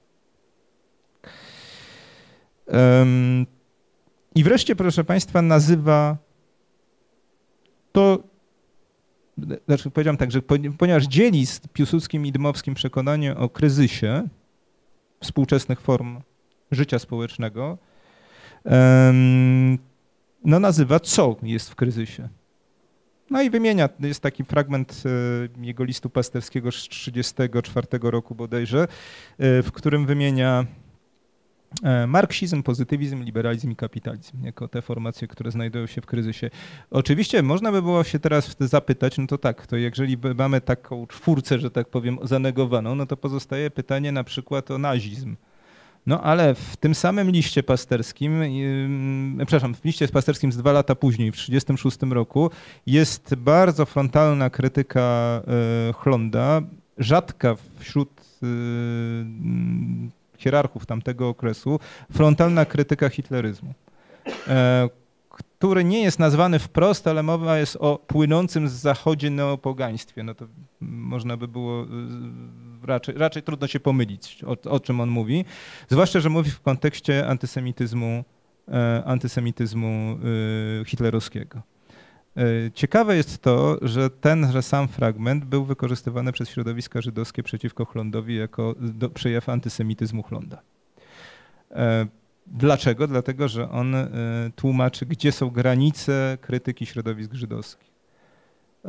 Powiedziałbym, że wyjątkowo przewrotne, dlatego że jak się to czyta w całości, to widać, że głównym celem Chlonda jest zdezawuowanie właśnie nazizmu, tak, jako pewny, i, i to się dzieje, proszę Państwa, na 9 miesięcy przed wydaniem Midbrennender Zorge. W związku z tym trudno powiedzieć, że jest to realizacja jakiegoś zaprogramowanego projektu Piusa XI. Oczywiście Chlont jest bliskim współpracownikiem Piusa XI, ale w tym wypadku wykazuje się pewną jednak e, no, samodzielnością.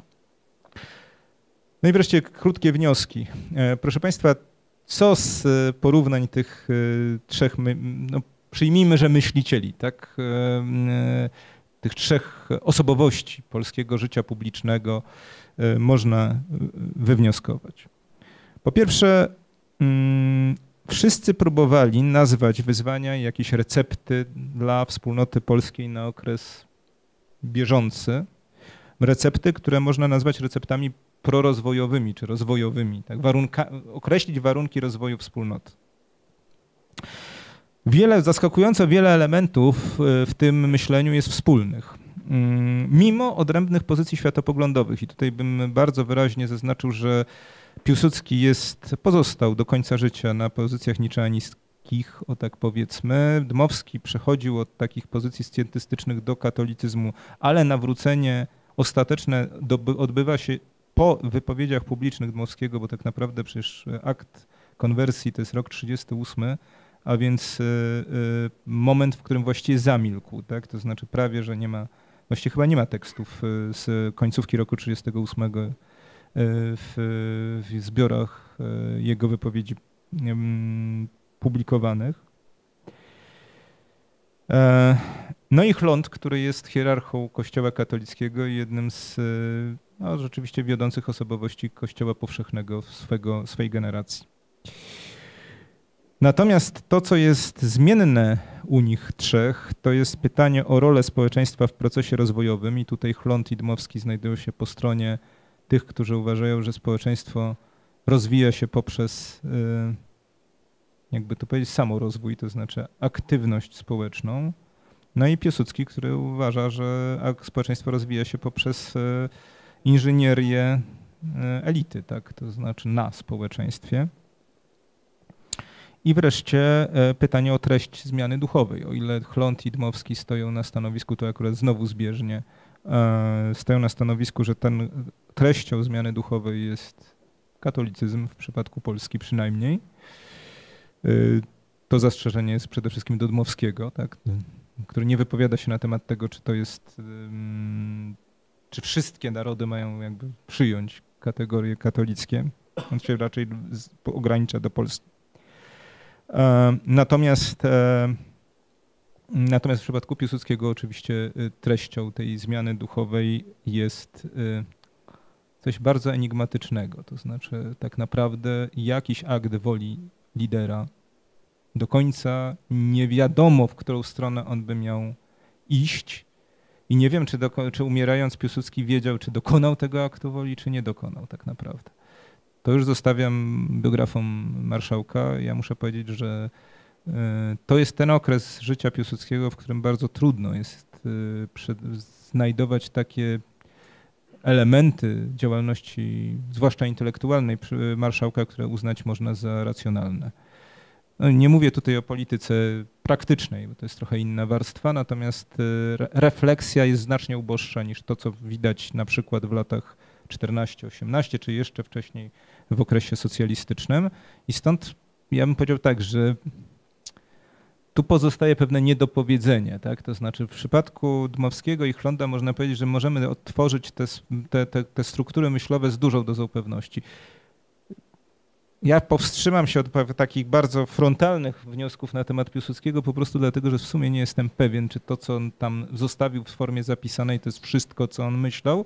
Natomiast to, co zostawił, jest raczej dość przygnębiające, mówiąc zupełnie szczerze. Dziękuję bardzo. Dziękuję bardzo panu profesorowi. E, ponieważ nie udało się naszej trzeciej prelegence dotrzeć do nas, chciałbym teraz otworzyć dyskusję. Jeśli mają państwo jakieś pytania, to Zachęcam.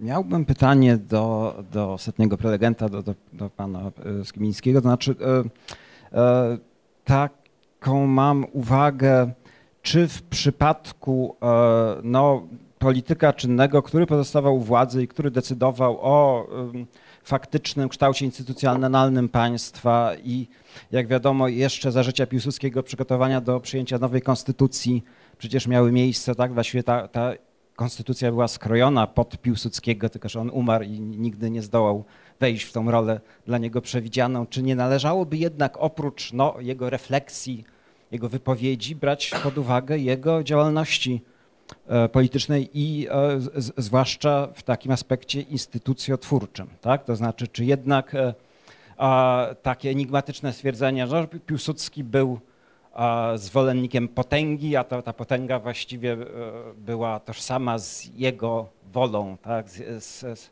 z siłą jego woli, czy, czy ono nie pozostaje trochę zbyt zawieszone w próżni wobec faktycznej, historycznej e, i politycznej aktywności Piłsudskiego, która jednak wskazywała na to, jakie on, jaki on sobie, jakich on sobie życzył instytucji w Polsce. Prawda? Więc tylko bym poddał taką myśl, że może Piłsudskiego trzeba oceniać nie tylko po jego słowach, ale również po jego działalności politycznej, zwłaszcza, że był po 26 roku odpowiedzialny po prostu za to, co się w Polsce działo pod względem instytucjonalnym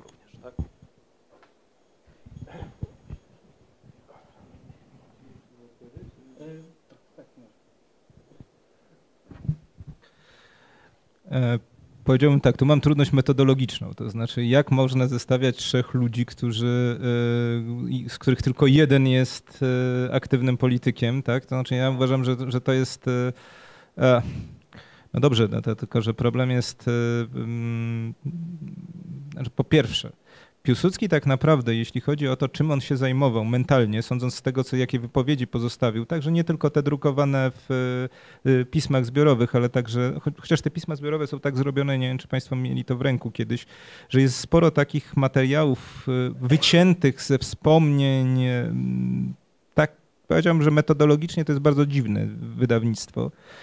E, znaczy, natomiast e, Powiem tak, e, w, w, moim przekonaniu Piłsudski koncentrował się na trzech zagadnieniach, to znaczy polityce międzynarodowej, utrzymaniu władzy i to dosłownie i zagadnieniu, czego byśmy chyba nie podejrzewali tak na pierwszy rzut oka, zagadnieniu skarbowości. całe wysiłki, no i oczywiście wojsko, tak, to znaczy to, to prawda, to znaczy to, to, to, to i, i, y, przy czym wojsko jako funkcja sytuacji międzynarodowej, no bo, y, bo tutaj, y, tutaj on to jednak postrzegał zresztą chyba słusznie jako, jako pewna, pewno, pewne Jungtim. Otóż proszę Państwa, mm, proszę zwrócić uwagę, że w jego realnej działalności nie było elementu konstruowania ustroju. E, w 26 roku to, co zrobił Piłsudski, to jest zalegalizował koncepcję e, reformy ustrojowej e, Związku Ludowo-Narodowego. To jest dosłownie, no, znaczy projekt ustrojowy ZLN-u jest dosłownie nowelą sierpniową. To znaczy tam jednej rzeczy nie ma, to znaczy sądownictwa konstytucyjnego. Rzadko się o tym mówi, ale to jest, no, no, tak jest. To znaczy po prostu te zmiany były na tyle oczywiste, że wszystkie strony sceny politycznej y, zgadzały się do tego, jak to zrobić i po prostu jest to, y, no, po, znaczy w ogóle dysku, dyskurs y, marszałka wielokrotnie jest dyskursem absolutnie, jakby to powiedzieć, teatralnym. To znaczy tam nie ma sen, sedna, że tak powiem.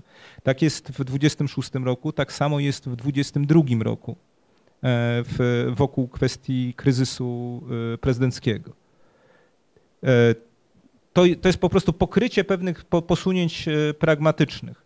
Ja mam duże wątpliwości, czy biorąc pod uwagę tego, że my rozmawiamy nie o stanowisku obozu rządzącego, nie o stanowisku całego środowiska, ze Sławkiem na przykład, z Makowskim, z Carem, tylko mówimy o Piłsudskim, to czy rzeczywiście możemy mówić tutaj o jakiejś instytucjonalnej działalności? Jedyna działalność instytucjonalna Piłsudskiego, którą ja znam z tego okresu, to jest ukonstytuowanie GISZ-u, czyli poza konstytucyjnego organu do nadzoru wojska. Proszę wybaczyć, ale to w ogóle nie jest y, strukturalne działanie państwowe, poza, powiedziałbym, zanegowaniem własnej noweli konstytucyjnej. No, ciężko to jest interpretować, mówiąc zupełnie szczerze, w kategoriach szukania pozytywów nie w znaczeniu pochwały, tylko w znaczeniu szukania konstruktywnych rozwiązań. Jeżeli Państwo popatrzycie nad czym on myśli, na przykład bardzo charakterystyczne, ja muszę powiedzieć, że przygotowując się do tego wystąpienia, wiecie Państwo, no ja nie będę ukrywał, nie jestem jakimś wielkim admiratorem marszałka, to zresztą chyba wiadomo. Natomiast, natomiast, natomiast powiedziałbym tak, że mam za sobą lekturę jego wystąpień z lat 18-22. E, przed e, kryzys, aż do kryzysu Narutowicza. Tam są to wystąpienia dość zwarte, ale jednocześnie pełne treści. To, co się dzieje po 26 roku, właściwie od końca 26 roku jest pozbawione jakichkolwiek treści konstruktywnych. To są komentarze do sytuacji bieżącej, bardzo reaktywne powiedziałbym nawet. I teraz oczywiście powstaje pytanie, czy on ukrywał swoje przemyślenia, czy też co raczej myślę y, po prostu bardzo szybko się y, zestarzał, no, mówiąc wprost. I to jest niestety przy takich silnych osobowościach, e, a to jest taki gigant dominujący nad własnym środowiskiem, no to niestety ten element e, braku kreatywności osobistej odciska piętno, bardzo silne. Dlatego z, z Piłsudskim jest problem, dlatego że o ile wydaje mi się, że możemy dość jasno powiedzieć, jaki jest y, sposób myślenia o polityce Piłsudskiego w okresie socjalistycznym, jaki jest sposób myślenia o polityce w okresie e, legio, znaczy powiedziałbym tam e, strzelecko-legionowym, o tak powiedzmy, jaki jest jego sposób myślenia o polityce jako naczelnika państwa nawet. O tyle to, co się dzieje po 26 roku jest pewną enigmą moim zdaniem, Oczywiście biografowie starają się tą enigmę rozważać, najczęściej poprzez teksty zacytowane z, ze współpracowników. Ja celowo zrezygnowałem z tego, ponieważ uważam, że to nie jest e, sposób adekwatny do porównywania stanowisk e, trzech w końcu wybitnych e, i kreatywnych w pewnych momentach przynajmniej swego życia osobistości polskiego życia publicznego. Bo tylko na tej płaszczyźnie uważam, że można zestawiać te wypowiedzi y, no schlądem, krótko mówiąc, tak? To znaczy, bo, bo gdybyśmy mieli trzech polityków, to jeszcze można by było o tej praktyce e, myśleć troszeczkę bardziej liberalnie, tak powiedzmy, dopuszczając więcej może tych elementów. Natomiast ja uważam, że jeżeli mamy, mamy próbować racjonalnie zestawiać dyskurs E, duszpasterza z politykiem, no to jednak wydaje mi się, że, że nie, że to jednak by było pewne, pewne nadużycie, ale abstrahując od tego, to co powiedziałem na początku wydaje mi się e, wystarczające. Ja nie widzę tam elementów, które mogłyby wzbogacić realnie e, ten, ten dyskurs i tyle. Dziękuję. Mogę? Przepraszam bardzo. Ja, ja, ja się z tym zupełnie nie zgadzam. Po pierwsze, nawet metodologicznie można zastosować nieleninowską teorię odbicia i wiemy, że e, długie e, spotkania w Belwederze emanują potem ideami e, otoczenia, więc można eo ipso wydobywać to, co Piłsudski myśli i mówi w sposób oczywisty, ponieważ tak się zastanawiałem, wiedziałem, że Piłsudski nad nami zawiśnie dzisiaj tutaj w czasie tej dyskusji. E, e, marszałek ewidentnie jest przeciwnikiem idei politycznej w ogóle. To znaczy uważa, że to jest coś, co to jest jakaś bzdura, trzeba działać, przede wszystkim e, realna polityka wykazuje ewentualnie potencjał intelektualny polityka. Ale jeśli już zrobimy to od tej strony, to szanowni państwo, no, Wizja geopolityczna wyłania się ewidentnie. To widać szczególnie w rozmowach e, z prezydentem Litwy i, i, tymi wszystkimi działaniami dotyczącymi Kresów Wschodnich. Po drugie, pan profesor tu wspomniał o skarbowości. Bardzo pilnował budżetu. Budżetu ogólnie i e, budżetu wojskowego. Po trzecie, bronił zdecydowanie apolityczności wojska i na różne sposoby to e, e, działał, czyli jednym słowem upartyjnienie wojska uważał za podstawowe zagrożenie nie tylko dla polityki wewnętrznej, ale również e, w ogóle dla, dla potęgi polskiej jako takiej.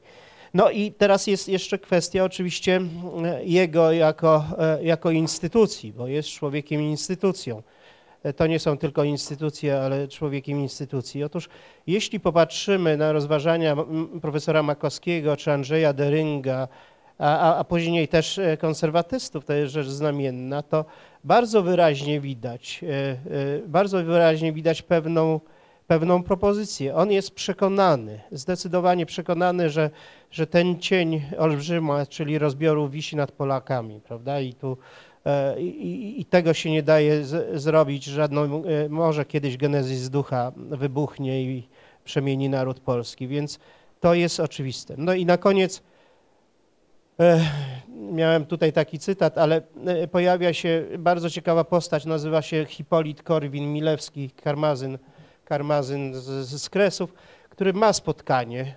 Obydwaj panowie są bardzo wiekowi już. Po, po w 26 roku. I to, co mówi, to to, że to jest mm, polityk zamknięty, że to jest jedyny polityk, którego nie jest w stanie odczytać w ogóle, bo on, e, e, bo on myśli i uruchamia ludzi do działania, nie, nie, że tak powiem, nie eksploatując e, swoich idei, ale te interwencje jego też czynne, że zostaje albo premierem, albo ministrem spraw wojskowych, pokazują, że jest tutaj bardzo ściśle linia wytyczona i ta kwestia klątwy geopolitycznej, o której bez przerwy mówi, którą próbuje przełamać e, szczególnie przez e, e, politykę wschodnią, jest warta uwagi. Dziękuję.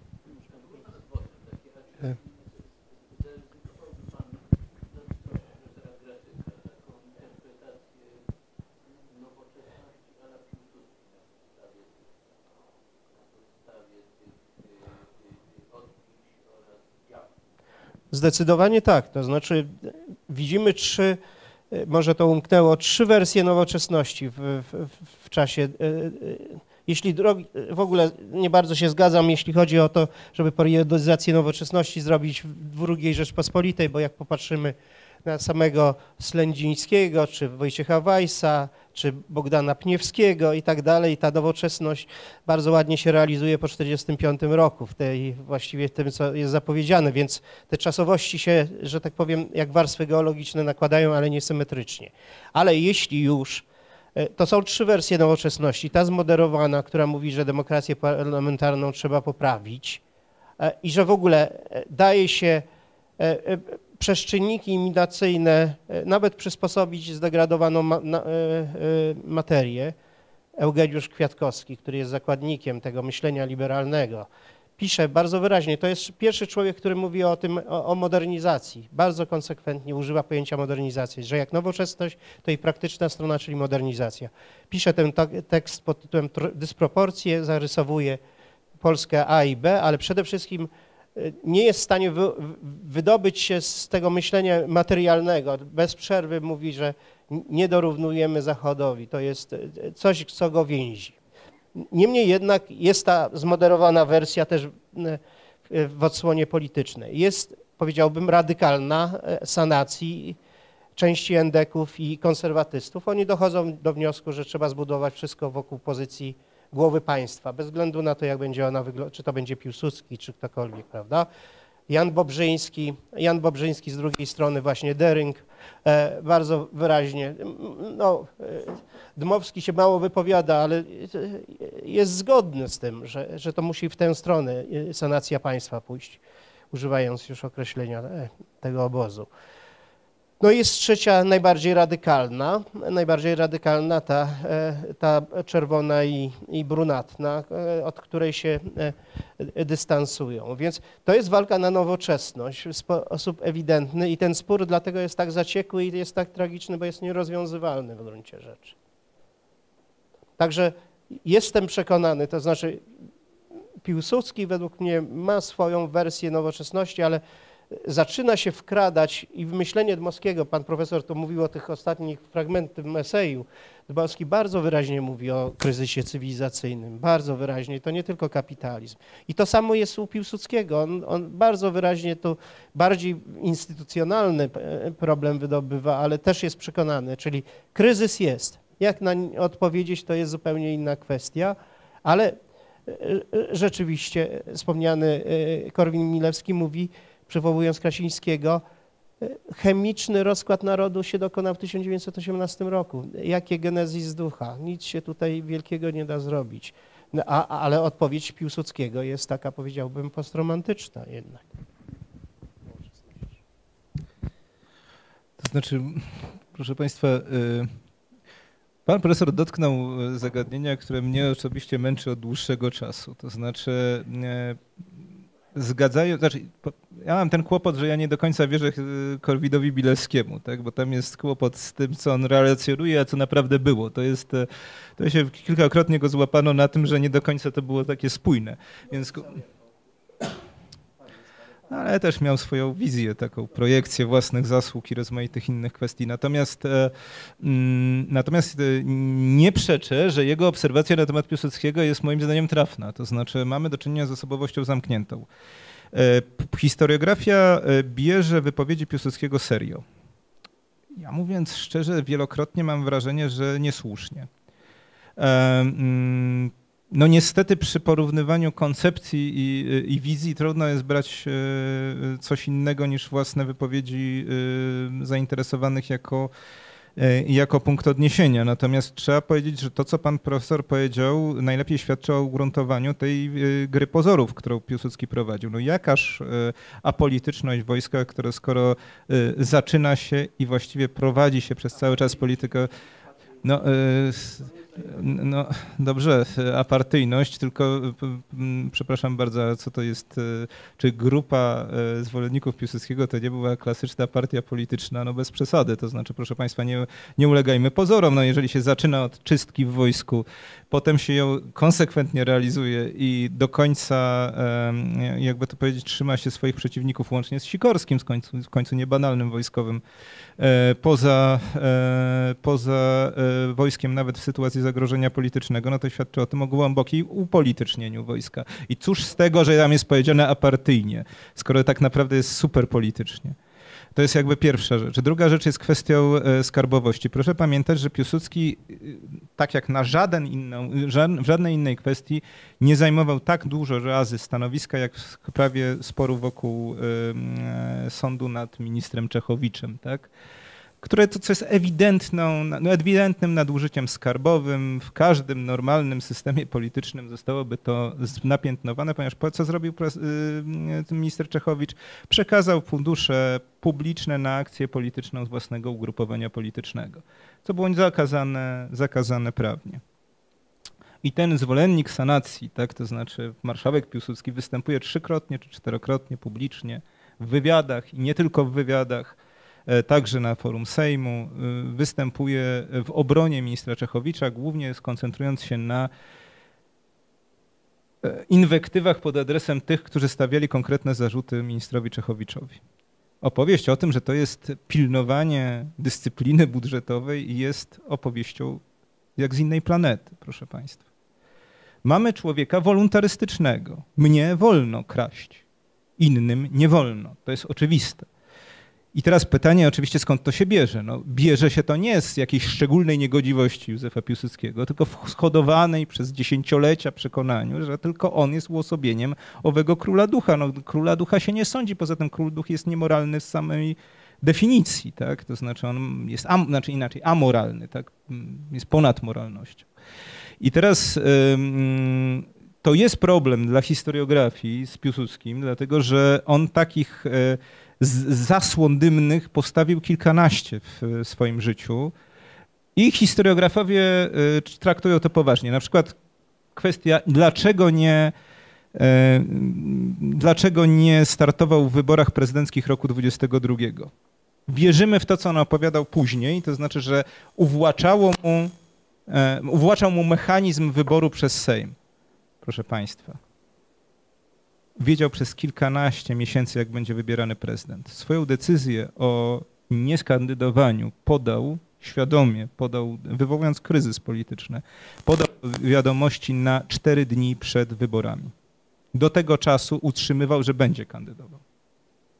Proszę Państwa, mamy do czynienia z cynicznym graczem politycznym, mającym swoje oczywiście przesłanki. Ja nie twierdzę, że tam nie było y, w tym jakiejś racjonalności. Natomiast, proszę Państwa, dość żałosne jest to, że historycy, y, jakby to powiedzieć, w ogóle tego nie komentują. I teraz e, świadczy to o tym, że udało mu się zwieść nie tylko przeciwników politycznych, ale parę, parę pokoleń in, interpretatorów. E, ja bym powiedział tak. Ewidentnie mamy do czynienia z rosnącą megalomanią Piłsudskiego. Proszę pamiętać, że e, koncepcja, e, na mnie największe wrażenie zawsze robi koncepcja e, zapisu testamentalnego powierzenia swojego mózgu do zbadania Akademii Medycznej w Warszawie, bo przecież wiadomo, że musi tam być jakaś gwałtowna tajemnica, prawda, że, że ten mózg musi być inny niż przeciętnego śmiertelnika. No proszę Państwa, no z całym szacunkiem, ale żaden inny polski mąż stanu nie zdobył się na taki objaw megalomanii. To jest, ja nie sądzę, że Wałęsa wymyśli coś takiego, ale to są mniej więcej podobne osobowości pod tym względem.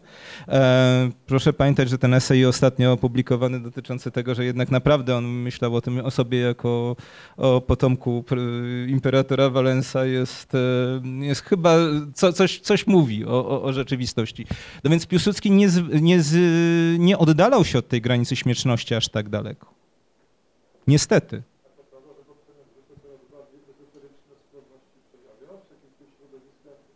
Szczerze mówiąc, to ja nie wiem. Ja te, tego nie wiem, natomiast jestem przekonany, że on nigdy nie był człowiekiem uporządkowanym pod względem religijnym. To znaczy, nigdy, nigdy go to nie zajmowało w sposób systematyczny, natomiast jednocześnie był człowiekiem zabobonnym. Klasycznie dla tych osób bezwyznaniowych, takich y, powiedziałbym z pogranicza socjalizmu, gdzie e, to, to jest bardzo klasyczna formacja duchowo, duchowo-intelektualna pod tym względem, więc to oczywiście mu nie pomagało, tak? To znaczy, bo ile u Dmowskiego mamy taki dość jasny, e, jasny ruch od e, scjentysty do katolika, o tak powiedzmy, i to jakoś się da opisać, powiedzmy tak. I jest to jakoś tam racjonalnie uporządkowane, no ale mamy do czynienia z zupełnie innym typem e, osobowości, tak? To znaczy lider, innym liderem, innym. Nie chcę powiedzieć przez to, że lepszym czy, czy, czy gorszym, tak? No po prostu innym. Natomiast y, dlaczego, dlaczego y, na to zwracam uwagę? Proszę Państwa, owszem, y, rzeczywiście Piłsudski inspirował swoje otoczenie, natomiast powiem szczerze, że często inspirował w kierunkach przeciwstawnych. I teraz pytanie, który z tych kierunków jest? No, powiedziałbym tak, no ale który Piłsudski jest ten prawdziwy, tak? Który Piłsudski jest ten prawdziwy? Ten, który twierdzi, że jest demokratą, czy ten, który twierdzi, że jest autorytarystą? Ten, który twierdzi, że... No, powiedziałem tak, oso... mówił o sobie wielokrotnie w ten sposób. Mamy jeszcze jakieś pytanie może?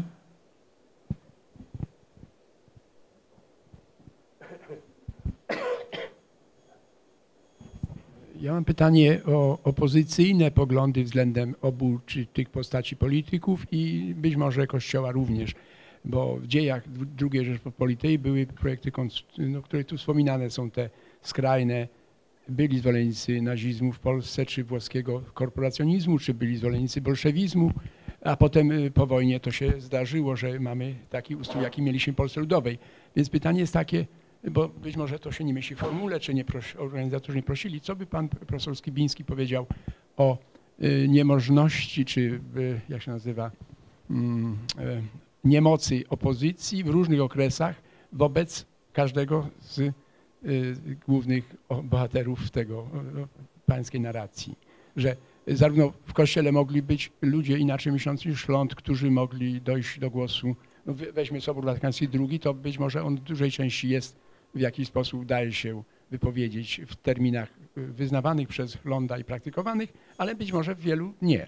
I to samo z Domowskim i Piłsudskim, bo puenta moja była taka, że na przykład alianci w II wojnie światowej nie zrobili tego, co po pierwszej, bo po pierwszej, yy, znaczy, że plan Marszala chciał y, włączyć Niemcy natychmiast po tym, jak drugą wojnę wyg- wygrali alianci, żeby nie powtórzyć czegoś, co było y, y, jakby ten Rapallo i tak dalej, nie? Czyli y, te dwa mocarstwa i te dwa potwory, wschodni i zachodni, one faktycznie podminowały demokrację liberalną i modernizacje liberalne są nieliczne. No, angielska, francuska, nie wiem jaka tam, szwedzka, ale włoska nie, portugalska nie, hiszpańska nie y, i tak dalej, nie? Jak, no angielska, no wiele jest, ale w każdym razie w związku z tym uznano, że trzeba ONZ zbudować i y, poważnie traktować różne rzeczy w długim trwaniu, bo y, ten Montesquieu o duchu praw, to bym poparł profesora Graczyka i profesora Żyro, że mm, jeśli mówimy o y, parlamentarnej demokracji liberalnej, burżuazyjnej, to w niej rozmowa z i podmiotowość, podmiot, nawet udawana podmiotowość narodu, weźmy prezydent y, ten, co miał radio, ten Roosevelt, to on wieczorem rozmawiał z narodem, a Hitler bez przerwy krzyczał i zarządzał strachem. Więc były jakieś kontrapunkty w świecie i w których Polska nie poszła, nie poszła hitlerowską drogą, ani nie, nie było tak, żeby Piłsudski wieczorem włączał radio i mówił do narodu, nie? Ale y, ta nadzieja, że istnieje zasób amerykański i potem on przyjechał przez ocean i pokonał tego Hitlera razem z Rosjanami i tak dalej, coś znaczy w długim trwaniu jednak y, pewne zalety ta demokracja parlamentarna chyba uznajemy, że ma, bo wtedy się kłania bieżąca sytuacja, czy y, słowo liberalny, a obywatel jest, Rugatiel no je ostatnio, y, prezydent Duda nie mówi nigdy obywatele, praktycznie mówi Polacy tego nie maczą, Kaczyński, Polacy to, Polacy tamto, pani mi, my, my, Szydło, tak? Szydło też mówi Polacy to, Polacy, czyli jest etniczne rozumienie y, narodu, y, państwa, że nie ma obywateli, to jak może republika bez obywateli, nie? Są tylko poddani albo etniczni, główni beneficjenci bycia katolikami, nie? To jest pytanie, zwłaszcza, że y, Polska, ta y, jałtańska użyła konstytucji ZPP i Stalin, chytrze pomyśleli, mimo że krytykowali. Marcowa socjalistyczna konstytucja będzie założy, za, według nich, według tej konstytucji PKWN miał działać. O, coś to mówi o tym. Ocena jednego z tych, którzy beneficjentami naszego zamętu byli. Proszę bardzo.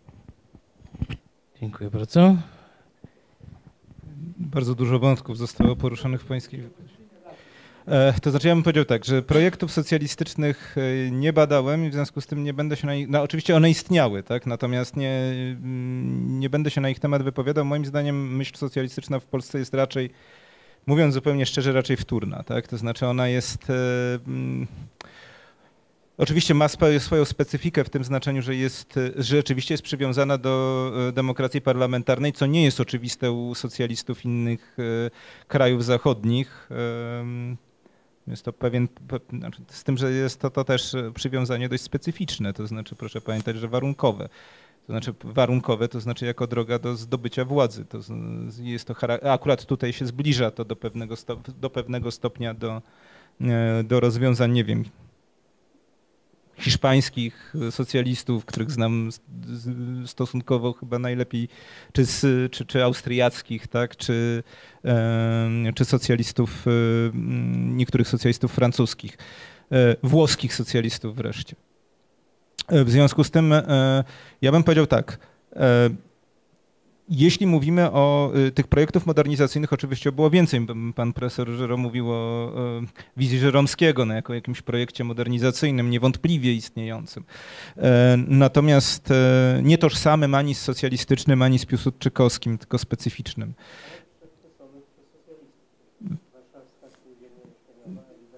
Nawiązywała, tak. To prawda. Natomiast, e, natomiast jeśli chodzi o korporacjonizm, korporacjonizm jest zjawiskiem z, jakiejś formy modernizacji, ale bynajmniej nie jednorodnym i na pewno bym, na pewno bym nie, nie kładł e, na jednej szali anty, e, e, antydemokratyzmu i korporacjonizmu z bardzo prostego powodu. To znaczy to założenie, że na podstawie korporacjonizmu będziemy tworzyć reprezentację polityczną, to jest założenie części korporacjonistów. I to jest, i wcale nie wiem, czy dominującej. W Polsce zagadnienie e, na przykład relacji między głową państwa, e, przepraszam, ja troszeczkę jednak się przyglądałem w swoim czasie zagadnieniom wizji ustrojowych wśród y, członków obozu narodowego w 20. i 30. latach. I szczerze powiedziawszy, to co pan profesor powiedział, to znaczy, że głowa państwa jako dominujący element wizji ustrojowej, o, to ja bym powiedział, że to jest duża mniejszość wśród endeków. O, proszę wybaczyć, ale tak zwane. Ja bym dał konia z rzędem temu, kto by powiedział, jak naprawdę wyglądał ustrój katolickiego państwa narodu polskiego. Nie jest to łatwe do określenia i szczerze powiedziawszy, nie widzę tam w ogóle dominacji głowy państwa. A przynajmniej nie we wszystkich wariantach tego, tego projektu. Y, niestety, proszę Państwa, w, tej, w, tej, w, naszej politologii nie powstała praca obiektywna na temat tej, e, tego elementu e, projekcji ustrojowej, tak? bo, bo pracę Lipskiego, proszę wybaczyć, ale należy uznać za, powiedziałbym, raczej paszkwil niż, e, niż analizę obiektywną. E, a niech się tak się złożyło, że nie żaden z politologów nie był łaskaw, e, no bo jest to trudne, to znaczy to jest ewidentnie trudne. Moim zdaniem to nie jest kwestia nawet uprzedzeń politycznych, tylko raczej trudności, trudności opisowych, które nic nie wyjaśniają. Niestety. A poza tym są to prace, zwracam uwagę, z lat 80., tak? To znaczy. No. A, E, ja tylko zwracam uwagę, że one głównie do, w swojej najwartościowszej części w ogóle nie dotyczą zagadnień ustrojowych, tylko społeczno-gospodarczych. E, I to, jest, e, I to jest pewien problem. To znaczy, jeżeli pan pyta teraz, jakie są inne wersje, to one, o ich jest bardzo dużo, znaczy jakby tak, żeby podsumować.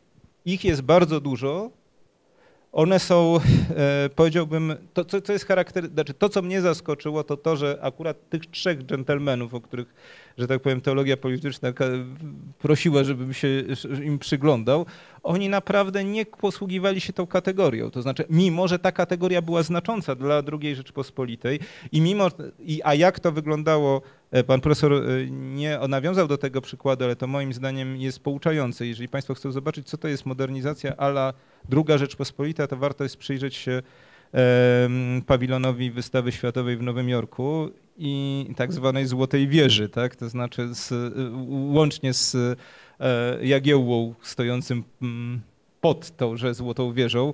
E, no, jest to imponujące, tak? To znaczy to jest, to jest, e, to widać, że jest jakiś potencjał w tym myśleniu o nowoczesności ówczesnym, z tym, że akurat zupełnie nie w, w materii, o której no, po, że tak powiem, polecono mi mówić. To znaczy, to nie jest dla nich ten aspekt nie był aż tak kluczowy, po prostu. To znaczy, przepraszam, ale to może, może to jest, e, jakby to powiedzieć, e, niespecjalnie e, budujące, no ale tak, tak to jest. To znaczy, natomiast to nie znaczy, że dla całego, całego, całej atmosfery kulturowej epoki, no tą, tą znacznie lepiej oddał profesor Żyro. Dobrze, czy profesor Żyro chciałby się odnieść i też prosiłbym o krótką wypowiedź, Dobrze. bo. E, e, wzbudził pan profesor we mnie ducha polemiki. To znaczy, jeśli chodzi o socjalistów, są dwie wyraźne różnice e, dotyczące socjalistów polskich i innych.